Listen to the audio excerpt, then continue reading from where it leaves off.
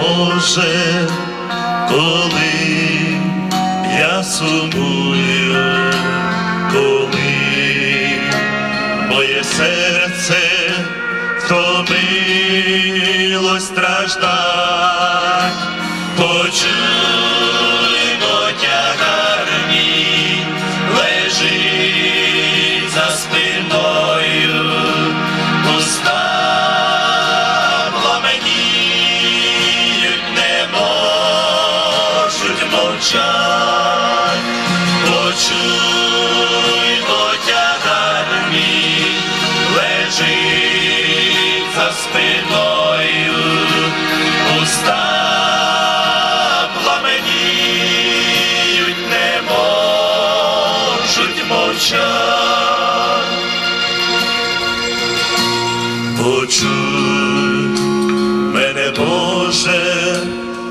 послабну порою, ідучи проти вітру вночі і в поргу.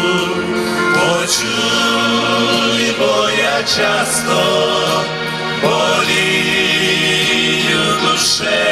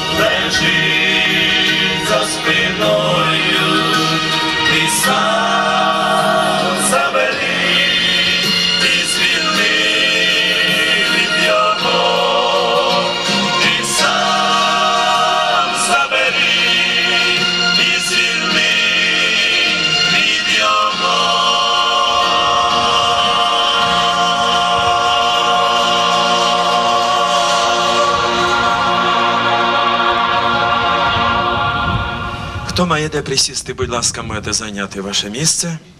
І я попрошу уваги, слухаємо Боже Слово. Читаю Євангелія від Іоанна 14 розділу, 16 і нижче віршики. Слова Ісуса Христа. І я вблагаю Отця, і Він дасть вам іншого утішителя, щоб перебував з вами повік. Духа істини, котрого світ не може прийняти, бо не бачить його і не знає. А ви ж знаєте його, бо він перебуває з вами і буде у вас. Не залишу вас сиротами, прийду до вас.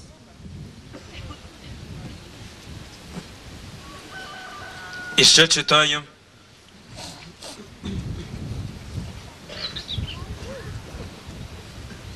Післання апостола Павла до римлян з 8 розділу такі слова. Так само і Дух допомагає нам в немочах наших. Так як ми не знаємо, про що молитися, як належить. Але Дух Святий заступається за нас зітханнями невимовними. А той, хто випробовує серця, знає, яка думка в духа, і він заступається за святих по волі Божій. Брати і сестри, коли Ісус Христос вознісся, Він сказав до своїх учнів: не відходьте від Єрусалиму, чекайте обіцяного. І вони чекали, зібрались, чекали, молились.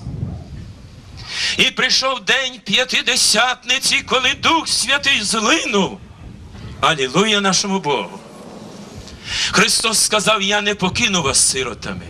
Я вблагаю Отця, і Він дасть іншого утішителя, Духа істини, який з вами буде. І в другому місці є написано, коли прийде Дух Святий, то докорить світ про гріх. За правду скаже і суд. Це робить Дух Святий. І я читав ще одне місце, апостол Павел каже, ми не знаємо, про що молитися, як потрібно. Але Дух Святий заступається за нас. Ви бачите, яку роль Дух Святий виконує в житті християнина. Ось цей другий розділ дії святих апостолів часто люди по-різному тлумачать. Я не раз таке чув, кажуть, ну, інші мові, коли Дух Святий зійшов на апостолів, я читав, щинився шум, і всі вони молилися, говорили про великі чудні діла Божі, говорили на інших мовах. А там зібралось дуже багато людей на свято. І всі вони чули, що їхньою мовою розмовляють. І багато є людей, трактують це місце так. Кажуть, ну то тоді потрібно було ж людям, щоб всі вони розуміли, а на сьогоднішній день не потрібно. І я кажу, ви не знаєте Писання. Ви прочитайте, хто зібрався тоді в Єрусалим. Написано іудеї з усіх околиць, з усіх міст. Приїхали туди якраз усі євреї, які розуміли добре, бо навіть вони що сказали, чи ж не всі вони галилеяни. Вони добре чули, яким акцентом єврейським вони розмовляли. А як же так? Ми чуємо, що на італійській захожі з Риму кажуть, ті кажуть із е, Месопотамії, ми чуємо, вони говорять нашою мовою. Брати, сестри, це не продо не закінчилось тоді в день п'ятидесятниці. П'ятидесятниця по сьогоднішній день продовжується. Алілуя нашому Богу! Я є свідок, брати сестри, скільки цього року прийшлося об'їхати, я бачив тисячі похрестить Духом Святим з ознакою інших мов. І написано, ця обітниця належить вам, дітям вашим, далеким, і геть усім, кого не покличе Господь, ця обітниця належить. Брати і сестри, Іуда пише, а ви улюблені, назидаючи себе найсвятішою вірою, молячись як? Духом Святим молитись, це найсвятіша віра. І написано, ніхто не може назвати Ісуса Господом, як тільки як Духом Святим. Сама людина не може так прославити. І апостол Павел роз'яснює, ми не знаємо, про що молитись, як потрібно, але Дух Святий заступається по волі Божій за святих. Чуєте, Він за нас заступається. В російському тексті написано ходатайствує воздиханнями неізреченними. Мені українському краще подобається, тут написано заступається. І я часто пригадую, багато з вас навіть чули. Я не раз цей випадок пригадую, коли одна сестра, яка вже відійшла до вічності, розказувала. Це було в воєнні часи. Коли, каже, йшла лінія фронту, і ось каже, всі солдати німецькі зігнали все село, жінок, дітей, стариків в одне місце. І оточили, стоять з автоматами, всі зрозуміли. Смерть глянула в очі. Там були віруючі, матері з дітьми, і в тому оточенні, в тому колі попадали так в одному місці на коліна, і піднялася щира, гаряча молитва до неба. Багато навіть невіруючих дивилися, що ти їм плачуть смерть. Ви знаєте, коли тривога, то до Бога, і багато падали біля віруючих, і піднімався плач. І та сестра розказувала, каже, тоді десь мені було 13 років, підліток. Невелика дівчинка, і коли каже, молились, вона сповнилась Духом Святим і стала говорити іншою мовою. І каже, Дух Святий її підняв, рука її протягнулася так вперед. І ця дитина, ця дівчинка стала йти вперед до старшого офіцера, який ось цим керував. Хоч солдати наставили автомати, але що ж, вона ж йшла без зброї. Проста дівчина, але сповнена Духом Святим. Коли вона підійшла до цього офіцера і почала говорити іншою мовою, вона не розуміла, що, але Дух Святий до нього говорив. Ті, каже, ось які каже, вопіють до мене, це каже, діти мої. І якщо ти піднімеш руку на них, то каже, загинеш ти дім твій, а якщо ти відпустиш, то я збережу тебе і твою родину і поверну тебе додому. І він став струнко, заплакав і дав наказ роз... відпустити всіх, розійти всім по домам. І каже, йшли ці матері, йшли старики, обнімали дітей, бо побачили, як Дух Святий заступився за них. Алілуя нашому Богу! Брати і сестри, дійсно, яке велике милосердя Господнє. Це тільки може зробити Дух Святий. І каже, коли лінія фронту пішла далі, всі побачили, як оточуючи села, всі палали вогнем. Але через ту дитину Господь заговорив Духом Святим. Він заступається. Я ще пригадую один випадок. У мене є один такий друг, один брат, який розказував. Як він йшов в армію, навіть приїхав, просив мене на проводи, це ще ті радянські часи. І я кажу, слухай, я до тебе не приїду, бо ти ж Богу не служиш. Ні, каже, я хочу, щоб віруючі прийшли. За мене помолилися. Кажу, я сказав, я приїду. І я пам'ятаю, навіть що я там проповідував. Він потім розказував, коли пішов в армію, там його Господь хрестив Духом Святим з ознакою інших мов. І каже, я їздив автомобілем і одного разу приїхав дуже пізно, ліг, каже, відпочивати, і тут через дві десь години наказ, підйом і вперед. І я каже, прийшов до того бокса, де стояв автомобіль. Але каже, чую, Дух Святий кличе мене на молитву. Так хочеться молитися. А де не було, де я каже, забіг за е, каже, стіну ось того бокса став молитися на інших мовах. І я чую, каже, лється молитва, як казав Христос, хто прагне, іди до мене і пий. Бо так як сказано в Писанні, знутра потічуть річки живої води. Я чую, каже, лється молитва з моїх уст, з мого нутра, з очей тічуть сльози. І я чую, каже, Дух Святий на інших мовах щось умоляє лице Господнє. Я не розумів, каже, що. Але я, каже, сів автомобіль і поїхав. Так я був, так як я був, каже, перетомлений. Рівна дорога, автомобіль рівномірно двигун працював, і я, каже, мов колись заснув. І моя машина пішла в страшенну прірву. Я, каже, довго котився. І потім, коли приїхала інспекція, обслідували ось цю аварію, цю трагедію, то каже, питали, де той солдат? Де він? Показали на мене. І каже, один із тих старших офіцерів підійшов, каже, сину, скажи, чи це ти такий щасливий, чи твоя мама, що ти лишився живий? З таких аварій ніхто ніколи не виходив живим. А я, каже, зрозумів, про що так Дух Святий умоляв рано лице Господнє. Я не знав, що мене чекає, але знав, це Дух Святий, і він умоляв лице Боже, щоб він вислав свого ангела-хоронителя, брати і сестри, не бійтеся, молитися сьогодні Духом Святим це найсвятіша віра. День п'ятидесятниці. Чи ти сьогодні пережив ту п'ятидесятницю, може ти ще її не переживав? Сьогодні нахилися до того струмка живої Божої води. Вона є відкрита і на цьому місці вона тече. Ти відчуєш Господню благодать. Алілуя, бо Господь не втомився він і сьогодні.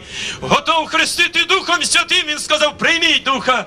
Брати сестри, ми про те будемо сьогодні молитися, щоб Дух Святий злинув сьогодні на кожне серце. Бо сьогодні є багато людей, будують церков, будують доми. Але дім, казав Христос, дім мій назветься домом молитви, але в тих домах не моляться. Чуєте, там тільки трактують, там переказують. І як казав один проповідник Безпалов, сьогодні багато є, роблять не церкви, а цирки, вистави, ще щось інше. Але я хотів би, щоб сьогодні на цьому місці діяв Дух Святий. Чомусь останнім часом мені Дух Святий загострив мою увагу. Бо багато є сьогодні і кажуть, ось те й те потрібно. Але Дух Святий мені якраз заострив увагу, де апостол Павел пише до післані першому до коринфян. Моя каже проповідь не в переконливих словах людської мудрості, а в явленні сили й духа. щоб віра ваша основувалась не на людській мудрості, а на чому? На силі Божій. Ви чуєте, про що вчив вчитель над всіма вчителями, щоб віра ваша базувалась не на людській мудрості, бо сьогодні є багато навчатися, голова ось така, але серце порожнє. Але я хотів би, щоб сьогодні Дух Святий діяв. Алілуя!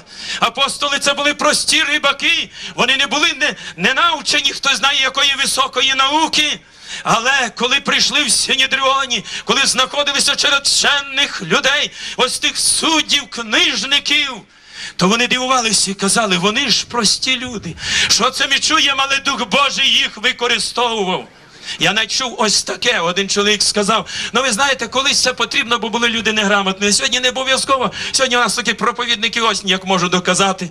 Але ті слова порожні, але коли Дух Святий буде діяти, то тоді він покорить людське серце. Я ще часто пригадую один такий випадок, як розказував один брат. Це в радянські часи.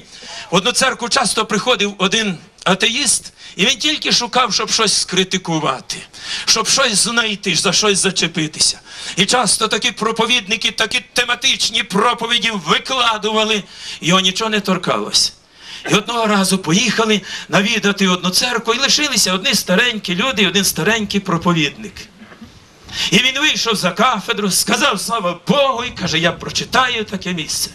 І він так помаленьку по складах склав я Бог Авраама, Ісака і Якова. І залив слізьми.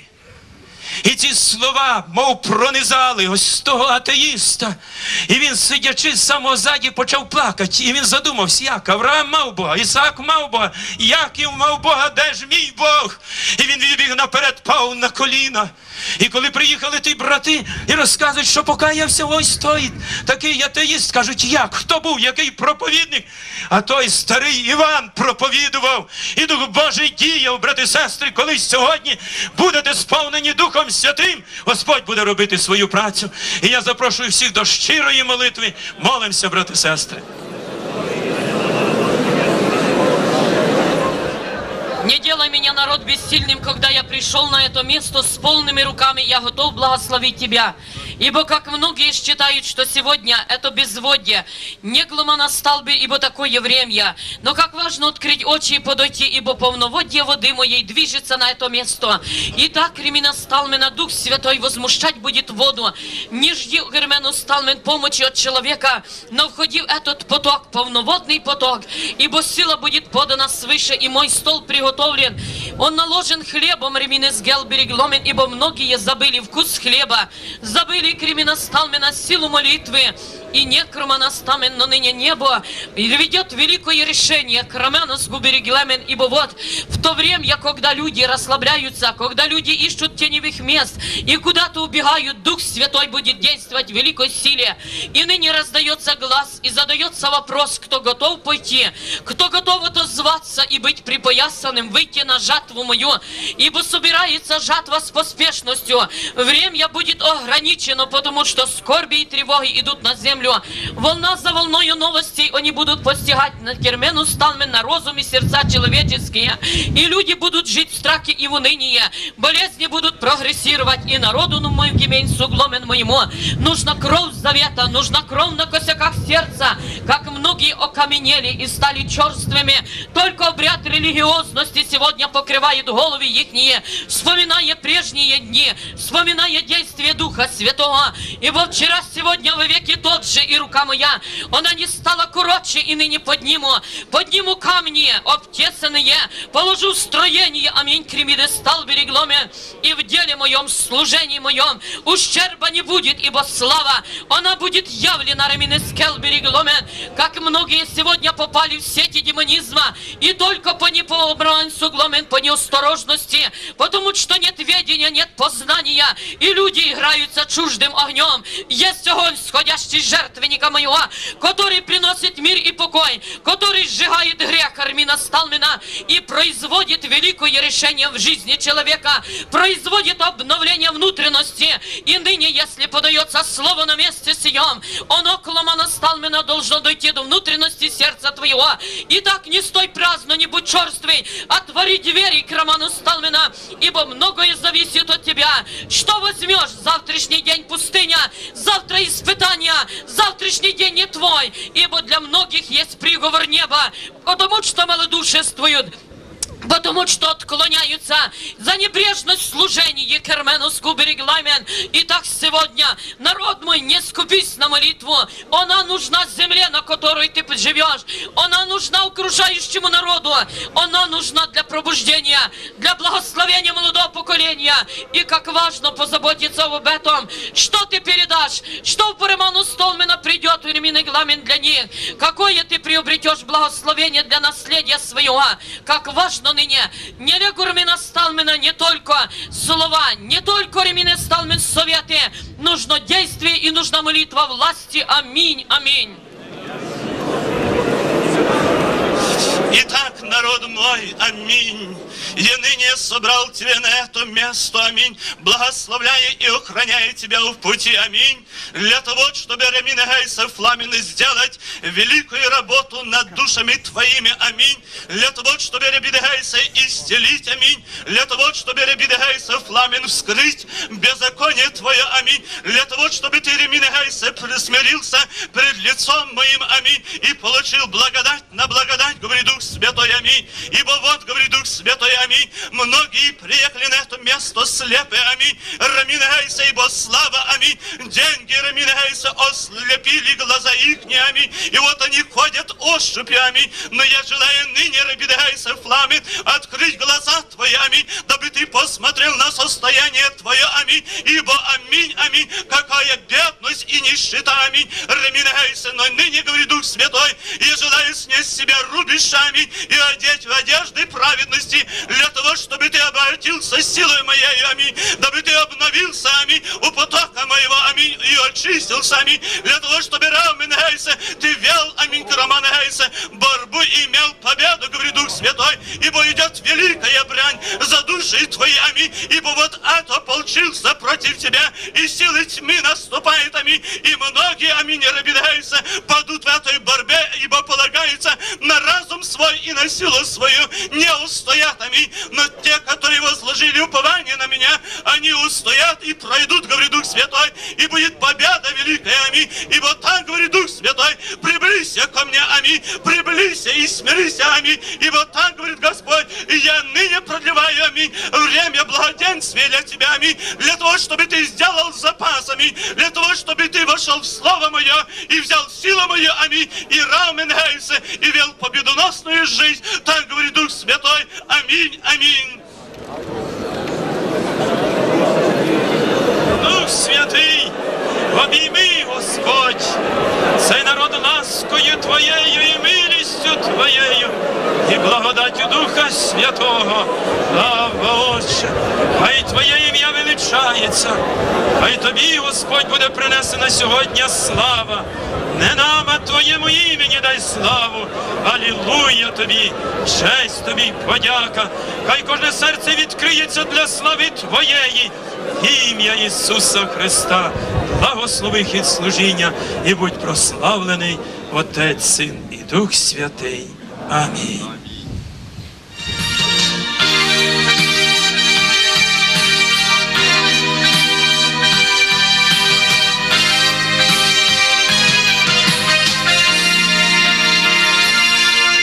Прийди, Святий Дух, утішитель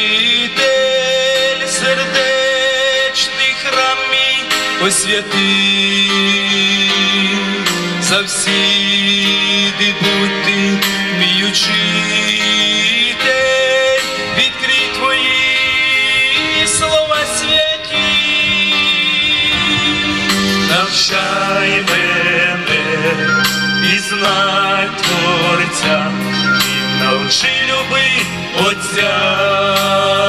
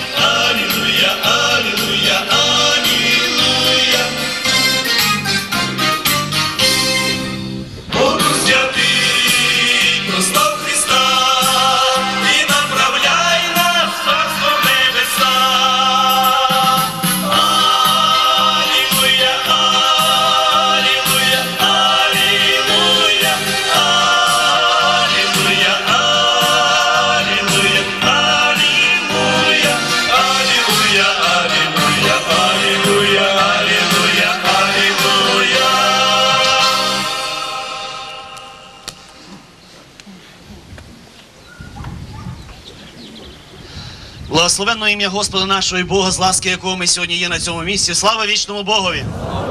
Я всіх вас вітаю сьогодні, сьогоднішнім святом, днем народженням церкви Ісуса Христа, якою являється ти і я для слави Господа. Слава вічному Богові! Сьогодні ми слухали Слово Боже вже і чули пророче слово про те, що Бог нагадує в наші дні. Я хотів би зачитати також Слово Боже, де написано відоме місце післання апостола Павла до Єфесян, 6 розділ, 10 та 11 вірші. Нарешті, мої брати, зміцняйтеся Господом та могутністю сили Його. Зодягніться в повну Божу зброю, щоб могли ви стати проти хитрощів диявольських. Брати та сестри, сьогодні ми живемо в часі, коли немає війни, коли не окружають, коли не спалюють, не розстрілюють. І сьогодні можна чути, що не так діє Дух Святий, як колись. Але ми чули пророче слово, коли Бог каже, що Він той самий Бог. Слава вічному Богові. Але, брати та сестри, зверніть увагу, що Бог сьогодні говорить і нагадує, що потрібно нам зодягнутися в Божу силу. Сьогодні потрібно протистояти. Сьогодні йде війна. Війна не менша і не більша, як колись, бо диявол той самий, але Бог той самий є саме головне. Слава вічному Богу. Бог в силі своїй і в славі своїй хоче діяти, як і діяв. Тому що Він є Бог, який хоче спасати, який хоче вести і взяти церкву свою, підняти від землі. Мов Бог хоче зробити так, як написано в дії святих апостолів, Е, верніше відкриття. Каже Слово Боже так. І дух, і невеста кажуть, прийди. Слава вічному Богу. Має досягнути такого часу моменту, коли настільки з'єднання прийде, і церква, і Дух Святий в один голос скажуть, Господи, гряди. Господи, гряди, забери церкву свою з цієї землі. Брати та сестри, сьогодні йде немала війна. Як багато ми бачимо, є падають в цій війні. Є ті, які впадають вбитими, раненими. Сьогодні потрібна сила. І каже апостол Павло, потрібно зодягнутися в силу. Каже Ісус Христос, не ваш час знати добу й час, коли Бог положив в плані своєму те чи інше. Сьогодні багато чого хочуть знати, досягають і ніби прагнуть того і доброго, але не мають сили, каже Ісус Христос. Але ви приймете силу, коли на вас йде Дух Святий. Ви чуєте, браті і сестри, не коли, може, якимись справами будете займатися, може багато знати будете, але коли приймете силу, коли вас на вас йде Дух Святий. Браття і сестри, сьогодні час більше і більше сили черпати в Господа. Сьогодні йде війна, як я вже нагадував, і кожен із нас має стати в цій боротьбі. Бог покликав тебе не для того, щоб ти просто стояв, не просто сидів в зібранні, але щоб зробив тебе воїном Ісуса Христа. Іти на боротьбу проти хитрощів диявольських. Як багато сьогодні він плете, як багато сплетає сіток. Де ці воїни, які мають зодягнутися в силу і протистояти? Де ці, які мають іти на передову, іти в війну? Брати і сестри, Бог покликав тебе, і ти маєш зодягнутися. Ти силу Божу взяти на себе і йти в цій війні перемагати. Не відставати, але перемагати. Господь є той самий. Слава вічному Богові. Брати та сестри, я згадую псалом, який ми часто співаємо. Каже, коли Дух Святий наповняє мене, я молюся. Я співаю, я плачу, як Давид. Давид плакав. Дух Святий сходив на нього. Він не тільки плакав, він молився. Не тільки молився, але й співав. Брате, сестро, чому сьогодні немає співу? Чому сьогодні Дух Святий не наповняє так моє серце, що я міг би співати? Струни небес не грають. Дух Святий наповнює, і дух мій славить ім'я Господа. Не фотограма, не може який музичний інструмент, але Дух Святий заграє на серці. Всі зливаються в один спів. І цей спів підноситься для слави Господа. Людина виходить зодягнена в силу, людина сповнена віри і йде в боротьбі. Може невеликий біт в битві, не може не той, що виганяє демонів чи щось інше, але приходить додому, вона може терпіти, вона може бути в вірі стояти і казати, Бог мій той самий, він той самий, може голяв стоїть, але є сила в Господа. Я маленький, маленького росту, не маю сили, але знаю мій сильний Бог. Слава вічному Богові. Ісус Христос той самий, і Він хоче, щоб ти і я був зодягнений в ту силу. Каже, нарешті, мої брати, браття і сестри, слово нарешті, пора вже зодягнутися в силу. Пора нам сьогодні підніматися, бо гряде Господь, гряде Господь. А як ще багато треба зробити? Скільки людей ще гинуть і не знають Бога. А сьогодні багато кинулося, як Дух Святий казав, в різні речі. Сьогодні потрібні гроші, потрібне ще щось інше, потрібне. Але, браття сестри, сьогодні потрібна сила. Сьогодні потрібна благодать Духа Святого. Сьогодні потрібно, щоб народ Божий піднявся, став на боротьбу в проломі, щоб диявол не міг зробити. Каже Біблія, він хоче на святому місці поставити мерзоту. Хай на святому місці буде слава Господу. Хай на святому місці приноситься жертва Богові. Хай сьогодні відступає сила демонська, а Бог силою своєю хай діє в народі своєму і через народ свій. Хто як не ти будеш в цій боротьбі? Хто як не ти зодягнешся в цю силу? Каже, нарешті, мої брати, браття і сестри, сьогодні потрібно стояти. Хай Бог наповняє силою своєю. Відкриймо своє серце, не просто вуха, але серце своє відкрий про те, що Бог хоче сказати тобі і говорить вже мені, щоб нам сьогодні бути тими, яким хоче Господь використати. Каже, дивися Бог, на кого покласти, дивися Бог, кого послати. Каже пророк, ось я, пішли мене. Чи готовий ти сказати сьогодні? Ось я, Господи, зодягни силою, пішли мене. Я готовий відмовитись від багато чого.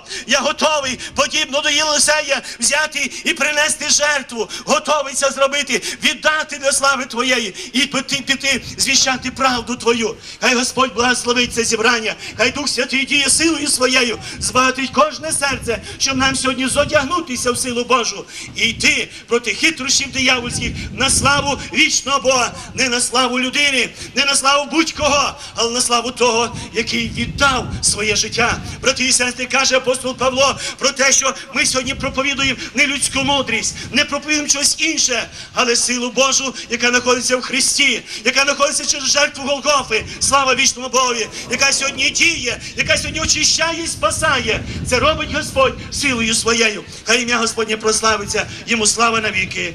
Амінь.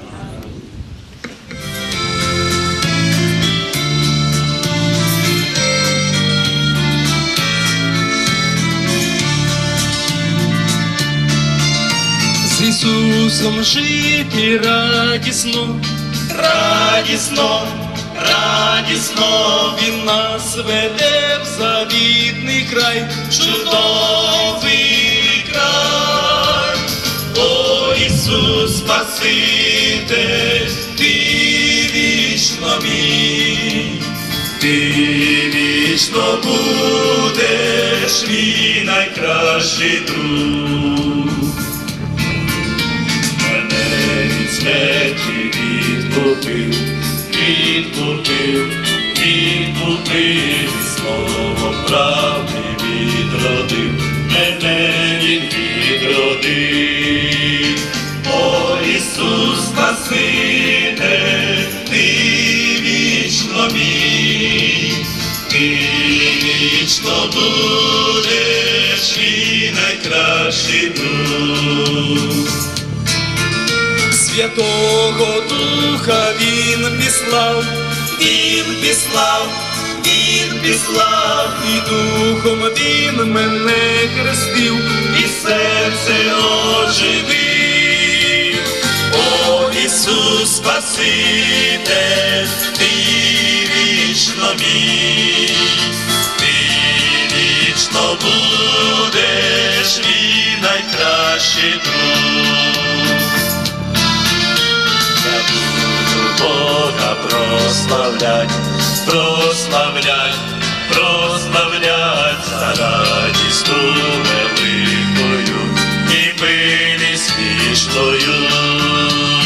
О Ісус Спаситель, ти вічно мій, ти вічно будеш мій найкращий друг.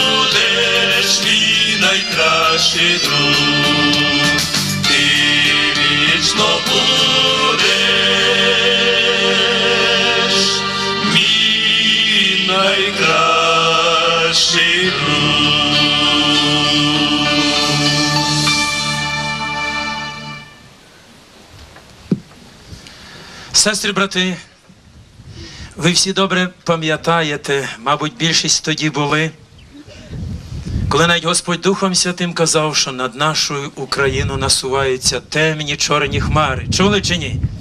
Чули. Я знаю, всі постили молились, коли дійсно вся Україна переживала. Я знаю, скільки в нас постів молитов. Багато християн суточно стояли на колінах. Багато в Києві на Майдані були. І там показували і тим, які знаходилися, і мерзли, і годували. Багато християн, бізнесменів участвували в тому. Сьогодні до нас завітав голова райдержадміністрації Ярослав Васильович з першим своїм замісником, і вони поспішають, і навіть образився, чому ми його не запросили. То він хоче сказати декілька слів подяки. Дозволив чи ні? Прошу, будь ласка, дайте на дорогу. Ярослав Васильович із своїм першим замісником. Пройдіть, будь ласка. Слава Богу! Шановна громада, дорогі краяни, запрошені гості. Дозвольте мені від імені президента України Віктора Ющенка, від імені голови обласної держадміністрації Василя Червонія, від себе особисто, а також від наших співробітників, скласти вам шану вдячності за ті сили, за ті турботи, які ви приклали під час виборчої кампанії і безпосередньо під час виборів. Адже саме завдяки вашим молитвам, саме завдяки вашим чисельним дням посту на Україну кінець кінців прийшла на самий вищий щабель влади достойна людина. Це Віктор Ющенко. Ми вам за це щиро вдячні.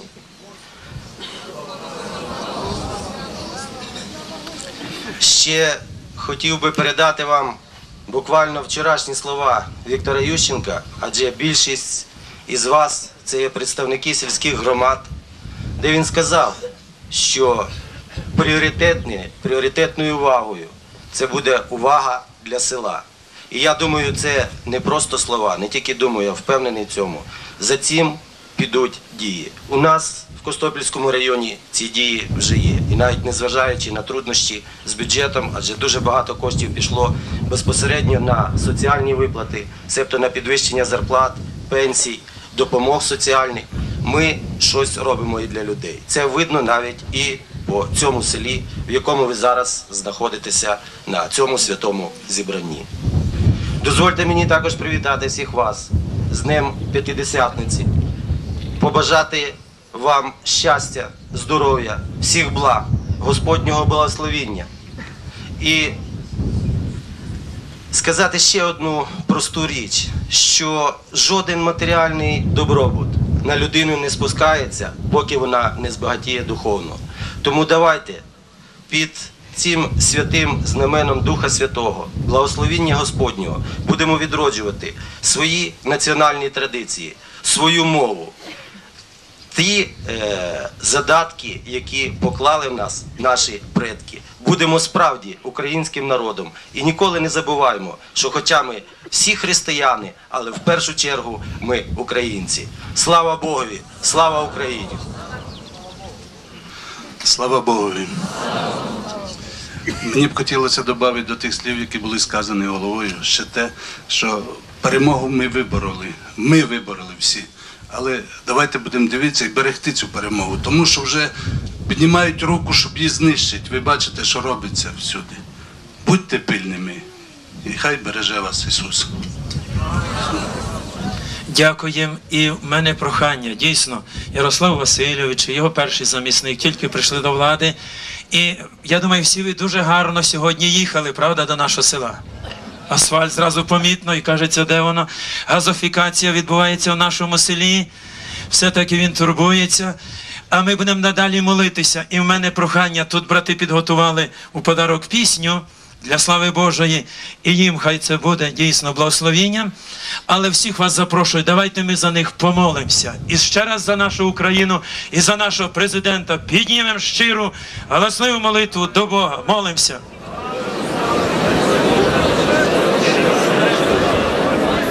За Твої благословіння, за Твою милість над нашою Україною, за президента, якого Ти послав, слава Тобі. Ми Тебе, Господи, дякуємо за Ярослава Васильовича, за Михайла Ілліча, які місцевою є владою в нашому районі, благослови їх. Дай їм чуйне серце, добре серце до свого народу. Дай їм духа премудрості, Господи, щоб Ти керував їхніми серцями, благослови їх спасінням їхніх душ в ім'я Ісуса Христа, благослови їхні сім'ї й родини. Ми просимо в ім'я Твоє, Отець, Син і Дух Святий. Амінь. Дякуємо за вашу присутність. Хай вас Бог благословить. Ми всі і від імені всіх бажаємо вам Божих благословень і будемо надалі молитися. Ілліч, Дякуємо вам за те, що дали можливість виступити перед вами. Дякуємо вам за вашу щиру молитву. Слава вічному Богу. Амінь. Ну і в подарок вам пісня, але вже в дорозі будете слухати, раз у вас дійсно службові справи. Дякуємо.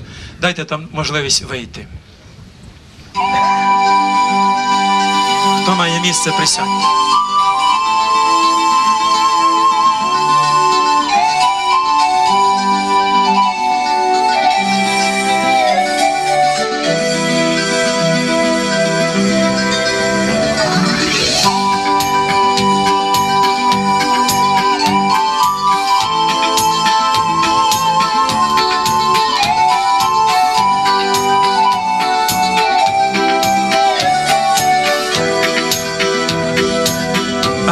Данчук, прошу пройти сюди.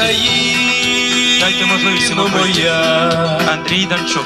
батьків моїх земля, край чудовий, прекрасний землі, народився тут я і впізнав я Христа, Бог призначив прожить тут мені.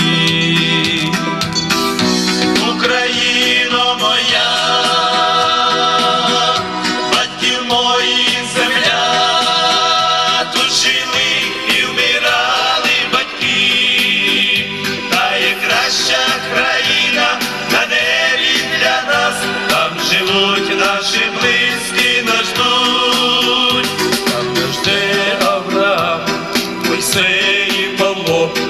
чекає на всіх Божий син.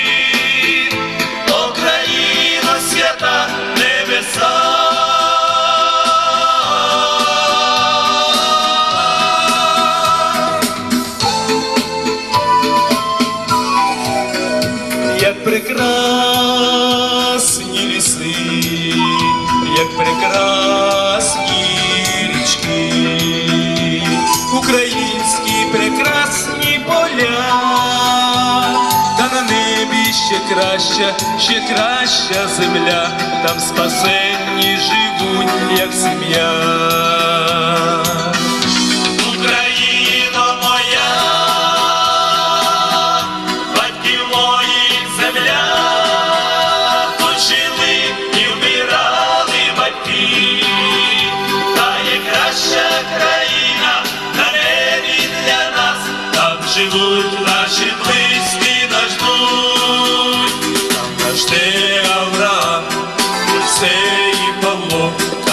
Там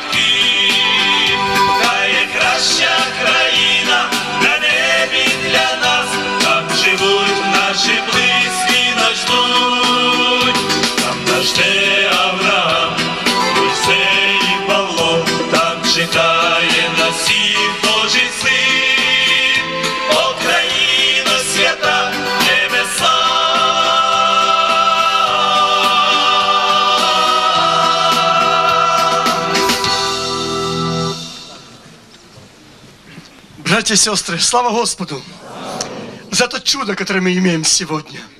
Слава Господу за рождение церкви. Слава Господу, что сегодня Он дает нам возможность слушать об этом Боге живом, реальном. Реальном я хочу заострить наше внимание. Я сегодня проповедовать не буду. Но хотел бы сегодня зачитать просто один стих, который дал бы нам возможность поразмыслить, кто ты есть на этом месте и что тебя требует Господь.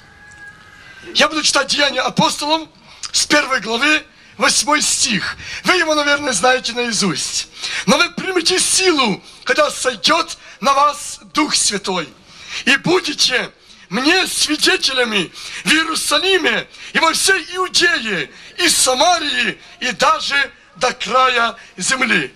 Мое желание остановиться просто на свидетеле.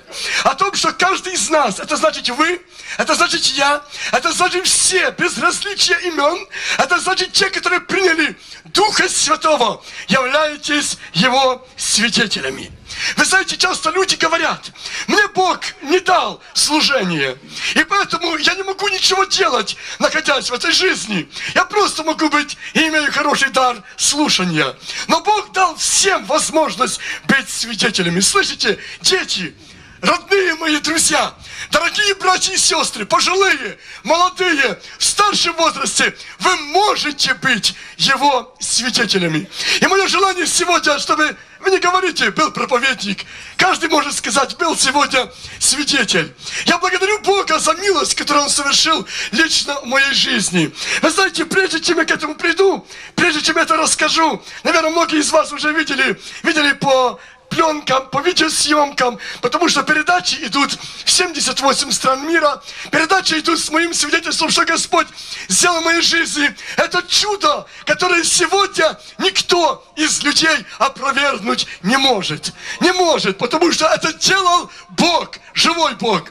Будучи глухим, слепым и немым, сегодня могу стоять вот здесь, на этой платформе, и говорить об этом чуде Иисуса Христа, как личность, которая сошел ко мне с неба, приехав на чудесной красивой колеснице. Вы знаете, я хочу сказать, в общем-то, чему же все шло, с чего это началось. Постараюсь быть очень кратким, понимая о том, что времени очень мало. Но наряду с этим, дорогие мои, в свое время, как многие мои братья, многие из вас шли служить в советскую армию.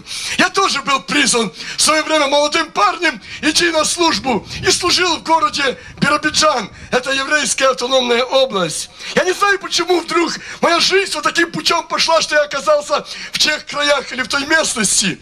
Но как многие верующие братья, я отказывался от военной присяги. Для той цели понимаю, что я уже член церкви и дал Господу обещание служить Ему в своей жизни, пообещал Ему свою совесть, и поэтому не мог переступить этот порог и считал, что делал правильно.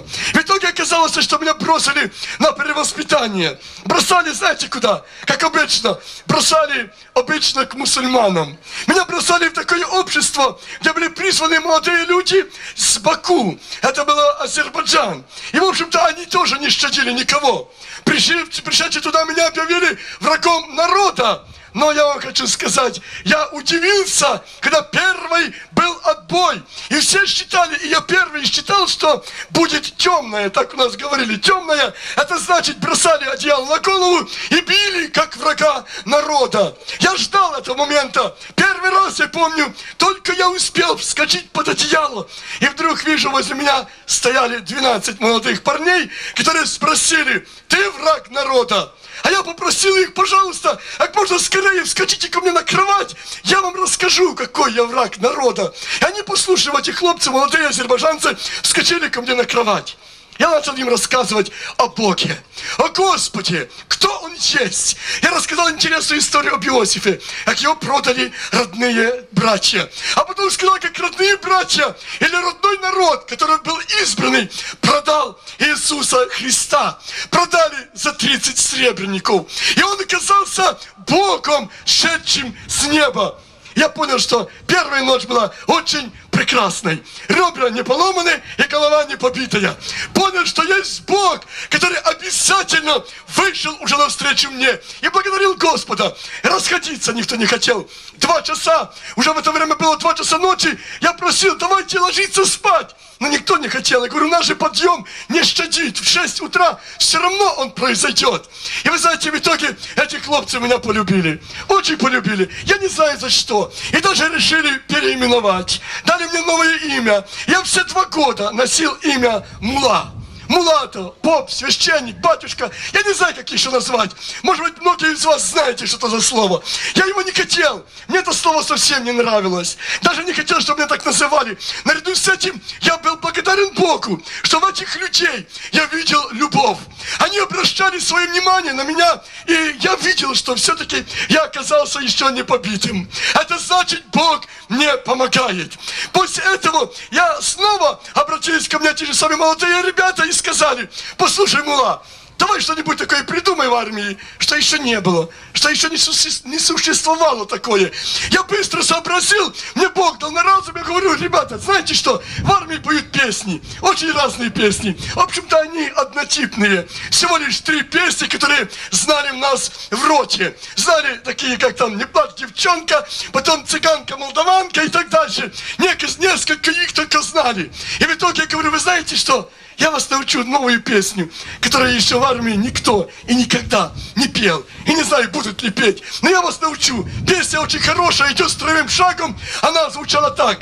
Думайте, люди, наша земля устала. Люди, гробовая бездна навсегда укроет, и возврата нет. Сердце, подскажи, любезней, кто нас успокоит, кто нам даст ответ? И запевал был у нас старший сержант, он пел припев. С вашим сознанием ждет он свидания. Ваш разрешить вопрос. Он сострадающий и все спасающий. Имя ему. А мы все кричали Христос.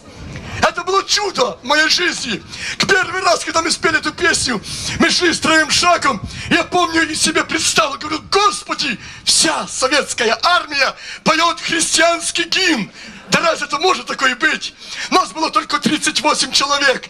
Но скажу вам, друзья мои дорогие, я понимал, что это Бог дал такую возможность. Я себе представил, когда-то эти молодые хлопцы вернутся к себе домой, и они обязательно расскажут своим друзьям, родственникам, близким, у них будут свои круги, и они скажут, вот мы в армии творили, вот мы в армии вот так и так дали, и обязательно выучив наизусть эту песню, пропоют, расскажут, что они пели. Я знал, что это будет своего рода евангелизация, большая евангелизация. Но я вам хочу сказать, когда мы проходили вторым шагом, возле казармы стояли офицеры. Они принимали честь от наших взводов. И так получилось, что мы с песней, глядя им в лица, приложив руку к голове, подворотом головы в их сторону, пропели очень громко имя ему Христос. Я видел эти ожесточенные лица, которые я видел, что они готовы были растерзать. И я понял, что расплата неминуемая. И правда, расплата происходила. Я отвечал за то, что я сделал. Все прекрасно понимали, не надо было доказательств никому. Совершенно кто научил и кто к этому привел. Все понимали, Франчука работа. И на этом все. И в итоге оказалось последние издевательства, которые могли только сделать. Их делали много. Я их не буду рассказывать сегодня. Но последнее, что сделали, очень серьезно и очень сложно. Меня вывезли просто в тайгу. В тайгу, чтобы я не мешал обществу. Все прекрасно знали, что я не вернусь. Я прекрасно понимал, что было пять смертей, которые направлены были в мой адрес. Одна из них была, провозя в машине, которой была выхлопная труба, служила отоплением. Это была машина ГАЗ-66, и эта выхлопная труба, оказалась, пропускала газы, утечка газов шла. Мы называли эту машину душегубка. Это значит, везли в этой душегубке вглубь тайги. Стоило только уснуть.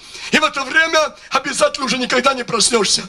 Потому что угарные газы удушат тебя. Я не спал. Трое с половиной суток дороги. Я не спал.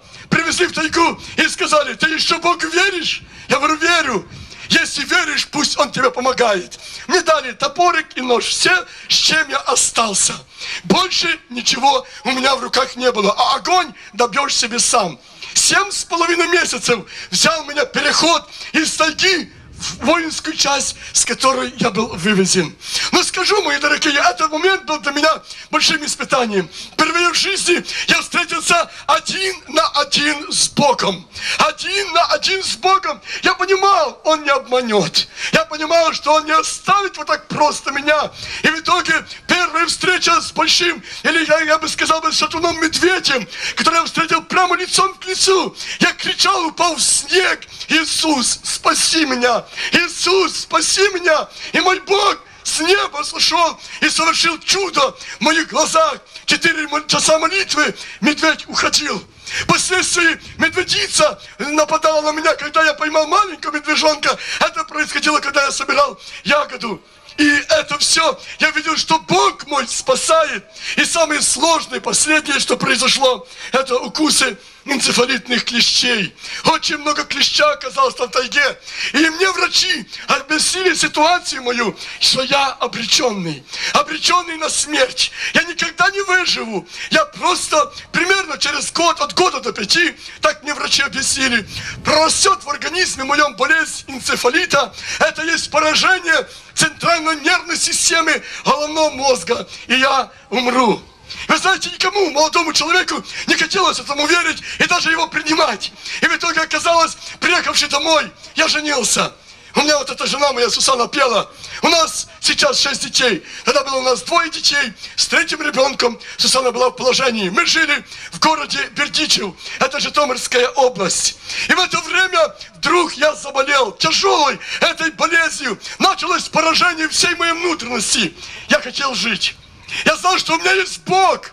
Я говорил, Господи, я жду Тебя и хочу встречи с Тобою. Я знал, что врачи говорили свое, но Бог говорил совсем другое. Меня в итоге отправили из Бердичевской больницы в другую Казатинскую, оттуда в Киевский институт, гастроэнтерологическое отделение, где находился долгий период времени на лечении. Меня посещали очень многие мои братья, мои дорогие братья, которые узнали о том, что я лежу в тяжелом состоянии. Моя внутренность, желудок был полностью поражен. Мои буквально почки, печень, все было уничтожено. То есть было без работы, без действий. Я переставал кушать, и все врачи говорили, что моя жизнь идет к концу. С каждым днем становилось хуже, а церковь усиливала свою молитву.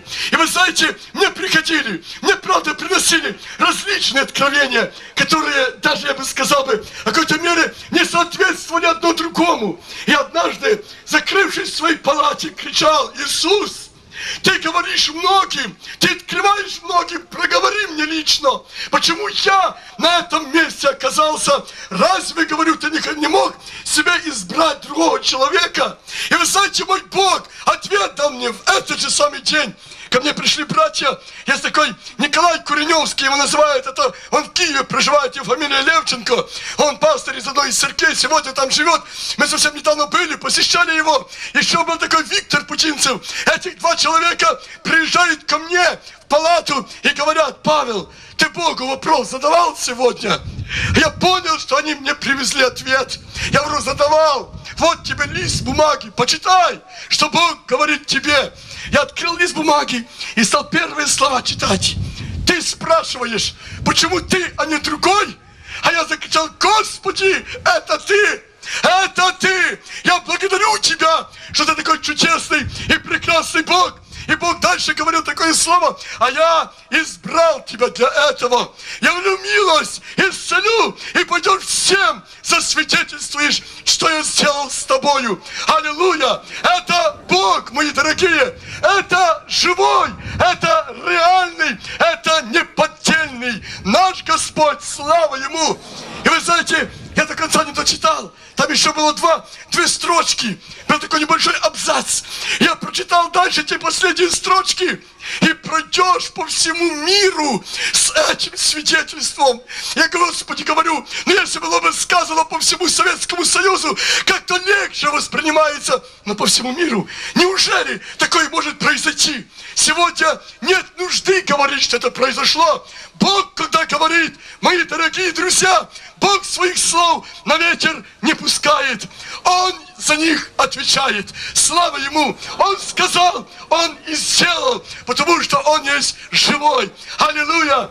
Меня выписывали из больницы в тяжелом состоянии, в смертном состоянии. Меня паралич начал разбивать буквально на глазах у врачей. Паралич поднимался с ног и с рук. И резко уходило зрение, а последствия слух, а последствия и речь. Я переставал говорить. Я помню, каждый раз я ждал момента и говорил, Господи, когда же придет этот прекрасный час, когда я смогу, как Ты сказал, проповедовать по всему миру это чудо, которое совершил Ты, реальности Твоей, когда это произойдет. Но мое как раз давление было в том, что с каждым днем ухудшалось мое состояние. Врачи видели, привели меня срочно в неврологическое отделение, где еще долго перед временем находился на лечении, в чем никто и ник- ничем помочь мне не смогли. И в итоге было принято решение меня отправить в научный центр для вскрытия головного мозга. Это последнее решение было принято врача- врачами, и все ожидали говорили, это не лечение, это просто исследование. При этом узнали мои друзья, мои родственники, родные, приехали и стали просить врачей, отдайте его, какой он есть. Мы его заберем домой, а у нас есть Бог. Бог, чудный Бог, живой Бог. Меня везли домой в безнадежном состоянии. Заключение врачей было такое. три или четыре дня жизни. Это максимум. Поскольку еще находясь в больнице, я был поддерживаемый немножечко медициной. Ехавший домой, медицину всю уже, ее уже не существовало. Сам кушать ее не мог, а в общем итоге ослеп совсем, оглох совсем, и речь была парализована. Голосовые связки парализованы, ноги парализованы, руки парализованы. И каждый раз всматривался вот эту черную темноту, в которой я видел только лишь темное пятно. Я ждал, говорил, Господи, где-то там есть свет. Я контролировал всю свою жизнь. Я проверял буквально всякий шаг. И каждое, что происходило в моей жизни, я вспоминал армию. Я вспоминал тех, кто приходил ко мне. Я вспоминал, как Господь меня спасал от тех зверей. Как Бог меня спас от холода. Минус 40, минус 45 примерно там температура. Очень минусовая, тяжелая. Без огня выжить невозможно. Все люди объясняют невозможно. Без оружия невозможно выжить только с Богом. Только с Богом. Без продуктов питания, холоде и голоде. И ты меня спас. Я говорил, Господи, и ты спас. Ведь ты же обращал твое внимание на мое состояние. Почему я пришел в такое состояние сейчас? И потом вспоминаю, и будешь проповедовать по всему миру это свидетельство. Господи, я жду этого прекрасного момента. Привези домой безнадежно. Инвалид первой группы. Сусана только увидела меня, когда привезли, прямо дорогой упала, стала кричать, плакать пред Богом. Соседи повыходили из своих дворов и стали спрашивать, что произошло. Все знали, что я парализован. И как-то с укором в медицину говорили, что долечили что долечили. И вот с такими словами меня носили в дом, на руках мои родственники, мои родные. На другой день Сусана в тяжелых переживаниях попала в роддом, родила дочь. При этом врачи говорили, что дочь или эта девочка будет недоразвитой, потому что находится или находится в тяжелых переживаниях, вернее, носится в тяжелых переживаниях. Но Бог и при этом вышел навстречу. Это дитя у нас родилось совершенно здоровым. Сусана, находясь в этом роддоме, в этот момент, я помню, я лежал в постели. Я ждал последние свои секунды. Я ждал, что вот-вот придет переход. Вдруг я увижу Иисуса Христа. Что я скажу? Как я пристану пред Ним, всматриваясь в сплошную темноту. Я ждал этого момента. Я не помню, что в комнате происходило. Но вдруг ослепил меня свет. Я увидел у меня в ногах, прямо находясь в моей постели, на кровати на диване, котором я лежал, сидит муж в белой одежде. Я закричал, Иисус, это ты! А он обращается ко мне и говорит, я не Иисус. Но вот идет Иисус, скажи ему, что ты хочешь. В нашей комнате явно на моих глазах вот так стенка вместе с дверью уехала в сторону, а в комнату стала въезжать колесница. Трое белых лошадей, красивая золотая колесница. Это был Спаситель мой, это Иисус. Мои дорогие, это Господь. Я не ожидал, что придет такое время оставить небо на колеснице, приедет ко мне, бедному, несчастному человеку, измученному в болезни. Я кричал, Иисус, я тебя так долго ждал. Ты такой чудесный, ты такой хороший. Он подъехал ко мне на пол разворота, остановился, остановился и так смотрел на меня в лице сплошное сияние. На голове такая красивая золотая коронка, прямо вмонтирована в голову. Я смотрел на Христа, он на меня, и слышу, голос говорит мне, Иисус, Иисуса, что ты хочешь? Я кричу, Иисус, хочу ходить, говорите, чтобы боли были сняты. Он ко мне обращается, говорит, боли сниму. Говорить будешь, а ходить до времени. Я снова закричал, Иисус, я и ходить хочу, пожалуйста, исцели меня. И снова слышу голос, а ходить до времени. И в это время я вдруг вижу, колесница развернулась, стала уезжать. А за колесницей поднялся ангел и ушел. Стенка заехала на свое место. И вдруг какие-то серые фигуры возле меня. Я не могу еще разобраться, где я нахожусь. Я не понимаю, братья рассказывают мне. Говорят, когда стали молиться, мама, говорит, бежала в комнату и кричала, умирает. Уже смерть, уже все. Жизнь идет к концу. Последние судороги на теле, которые сопровождали смертные судороги. Мама закричала, давайте молиться. Стали молиться. И говорит, друг, это время, Господь, Духом Святым проговорил такое слово. Ныне пришло время приступить к делу, к делу молитвы. Слава Богу! И в это время наши братья, бердические братья приехали, тут же стали молиться, упал на колени. И они говорили, что слышали, с кем-то ты разговаривал, но молитва была шумной, и меня это не обращали внимания. Это была беседа с Иисусом, живым, Богом, мои друзья дорогие. И впоследствии, когда Господь уже, я вижу туда серые фигуры. Я помню, братья меня приподняли и посадили на диван. Проходят такие считанные секунды, может быть 10-15 секунд, не больше, как вдруг резко открылись мои глаза. И я закричал, братья, я вас всех вижу. Они говорят, ты уже разговариваешь, а я даже внимания не обратил, что я уже разговариваю. Это Бог, мои друзья дорогие. А потом говорю, слышу, братья, уши открылись, я уже слышу. А потом говорю, посмотрите на меня, тело стало меняться, тело приобретало свой цвет и свой вид. Я не был одет в костюме, я был просто в нижнем белье, просто майка и трусы, на мне было все. Смотрели все, как Бог менял, изменял мое тело. Я даже чувствовал в теле шевеление, что происходило совершенно все новое. А потом говорю, братья, слышу, чувствую, вот так две руки, ладонь и пальцы прошли в мою внутренность и переворачивают мой желудок. Я говорю, ничего не болит, совсем не болит, но слышу движение желудка прямо явно переворачивается влево, вправо, влево, вправо. А потом вдруг резко кричу, братья, я голодный, дайте мне кушать. Я давно не ел, мой желудок потребовал пищу. Мама смотрела на меня, говорила, что тебе дать. Я говорю, мама, борщ с чесноком. Вот что хочу сейчас скушать. Я говорю, сильно соскучился за этой пищей. Я забыл вообще вкус пищи. Я смотрел на себя и думаю, Господи, неужели так любишь меня, что совершил такое чудо в моей жизни? Я кричал, Господи, я Тебя благодарю и даю Тебе слово. Обещаю, что я буду всем говорить о Твоем чуде, которое совершил Ты лично в моей жизни. Слава Богу! Братья ко мне подошли и сказали, давай молиться о ногах. Посмотри, еще ноги парализованы. При этом мне подали тарелку борща с чесноком. Мама говорила, чеснок не надо, ты понимаешь? У тебя еще желудок. Я говорю, мама, что желудок? Новый желудок. Ты, говорю, даже себе не представляешь, что произошло внутри. Мне подали борщ, подали чеснок. Я кушал.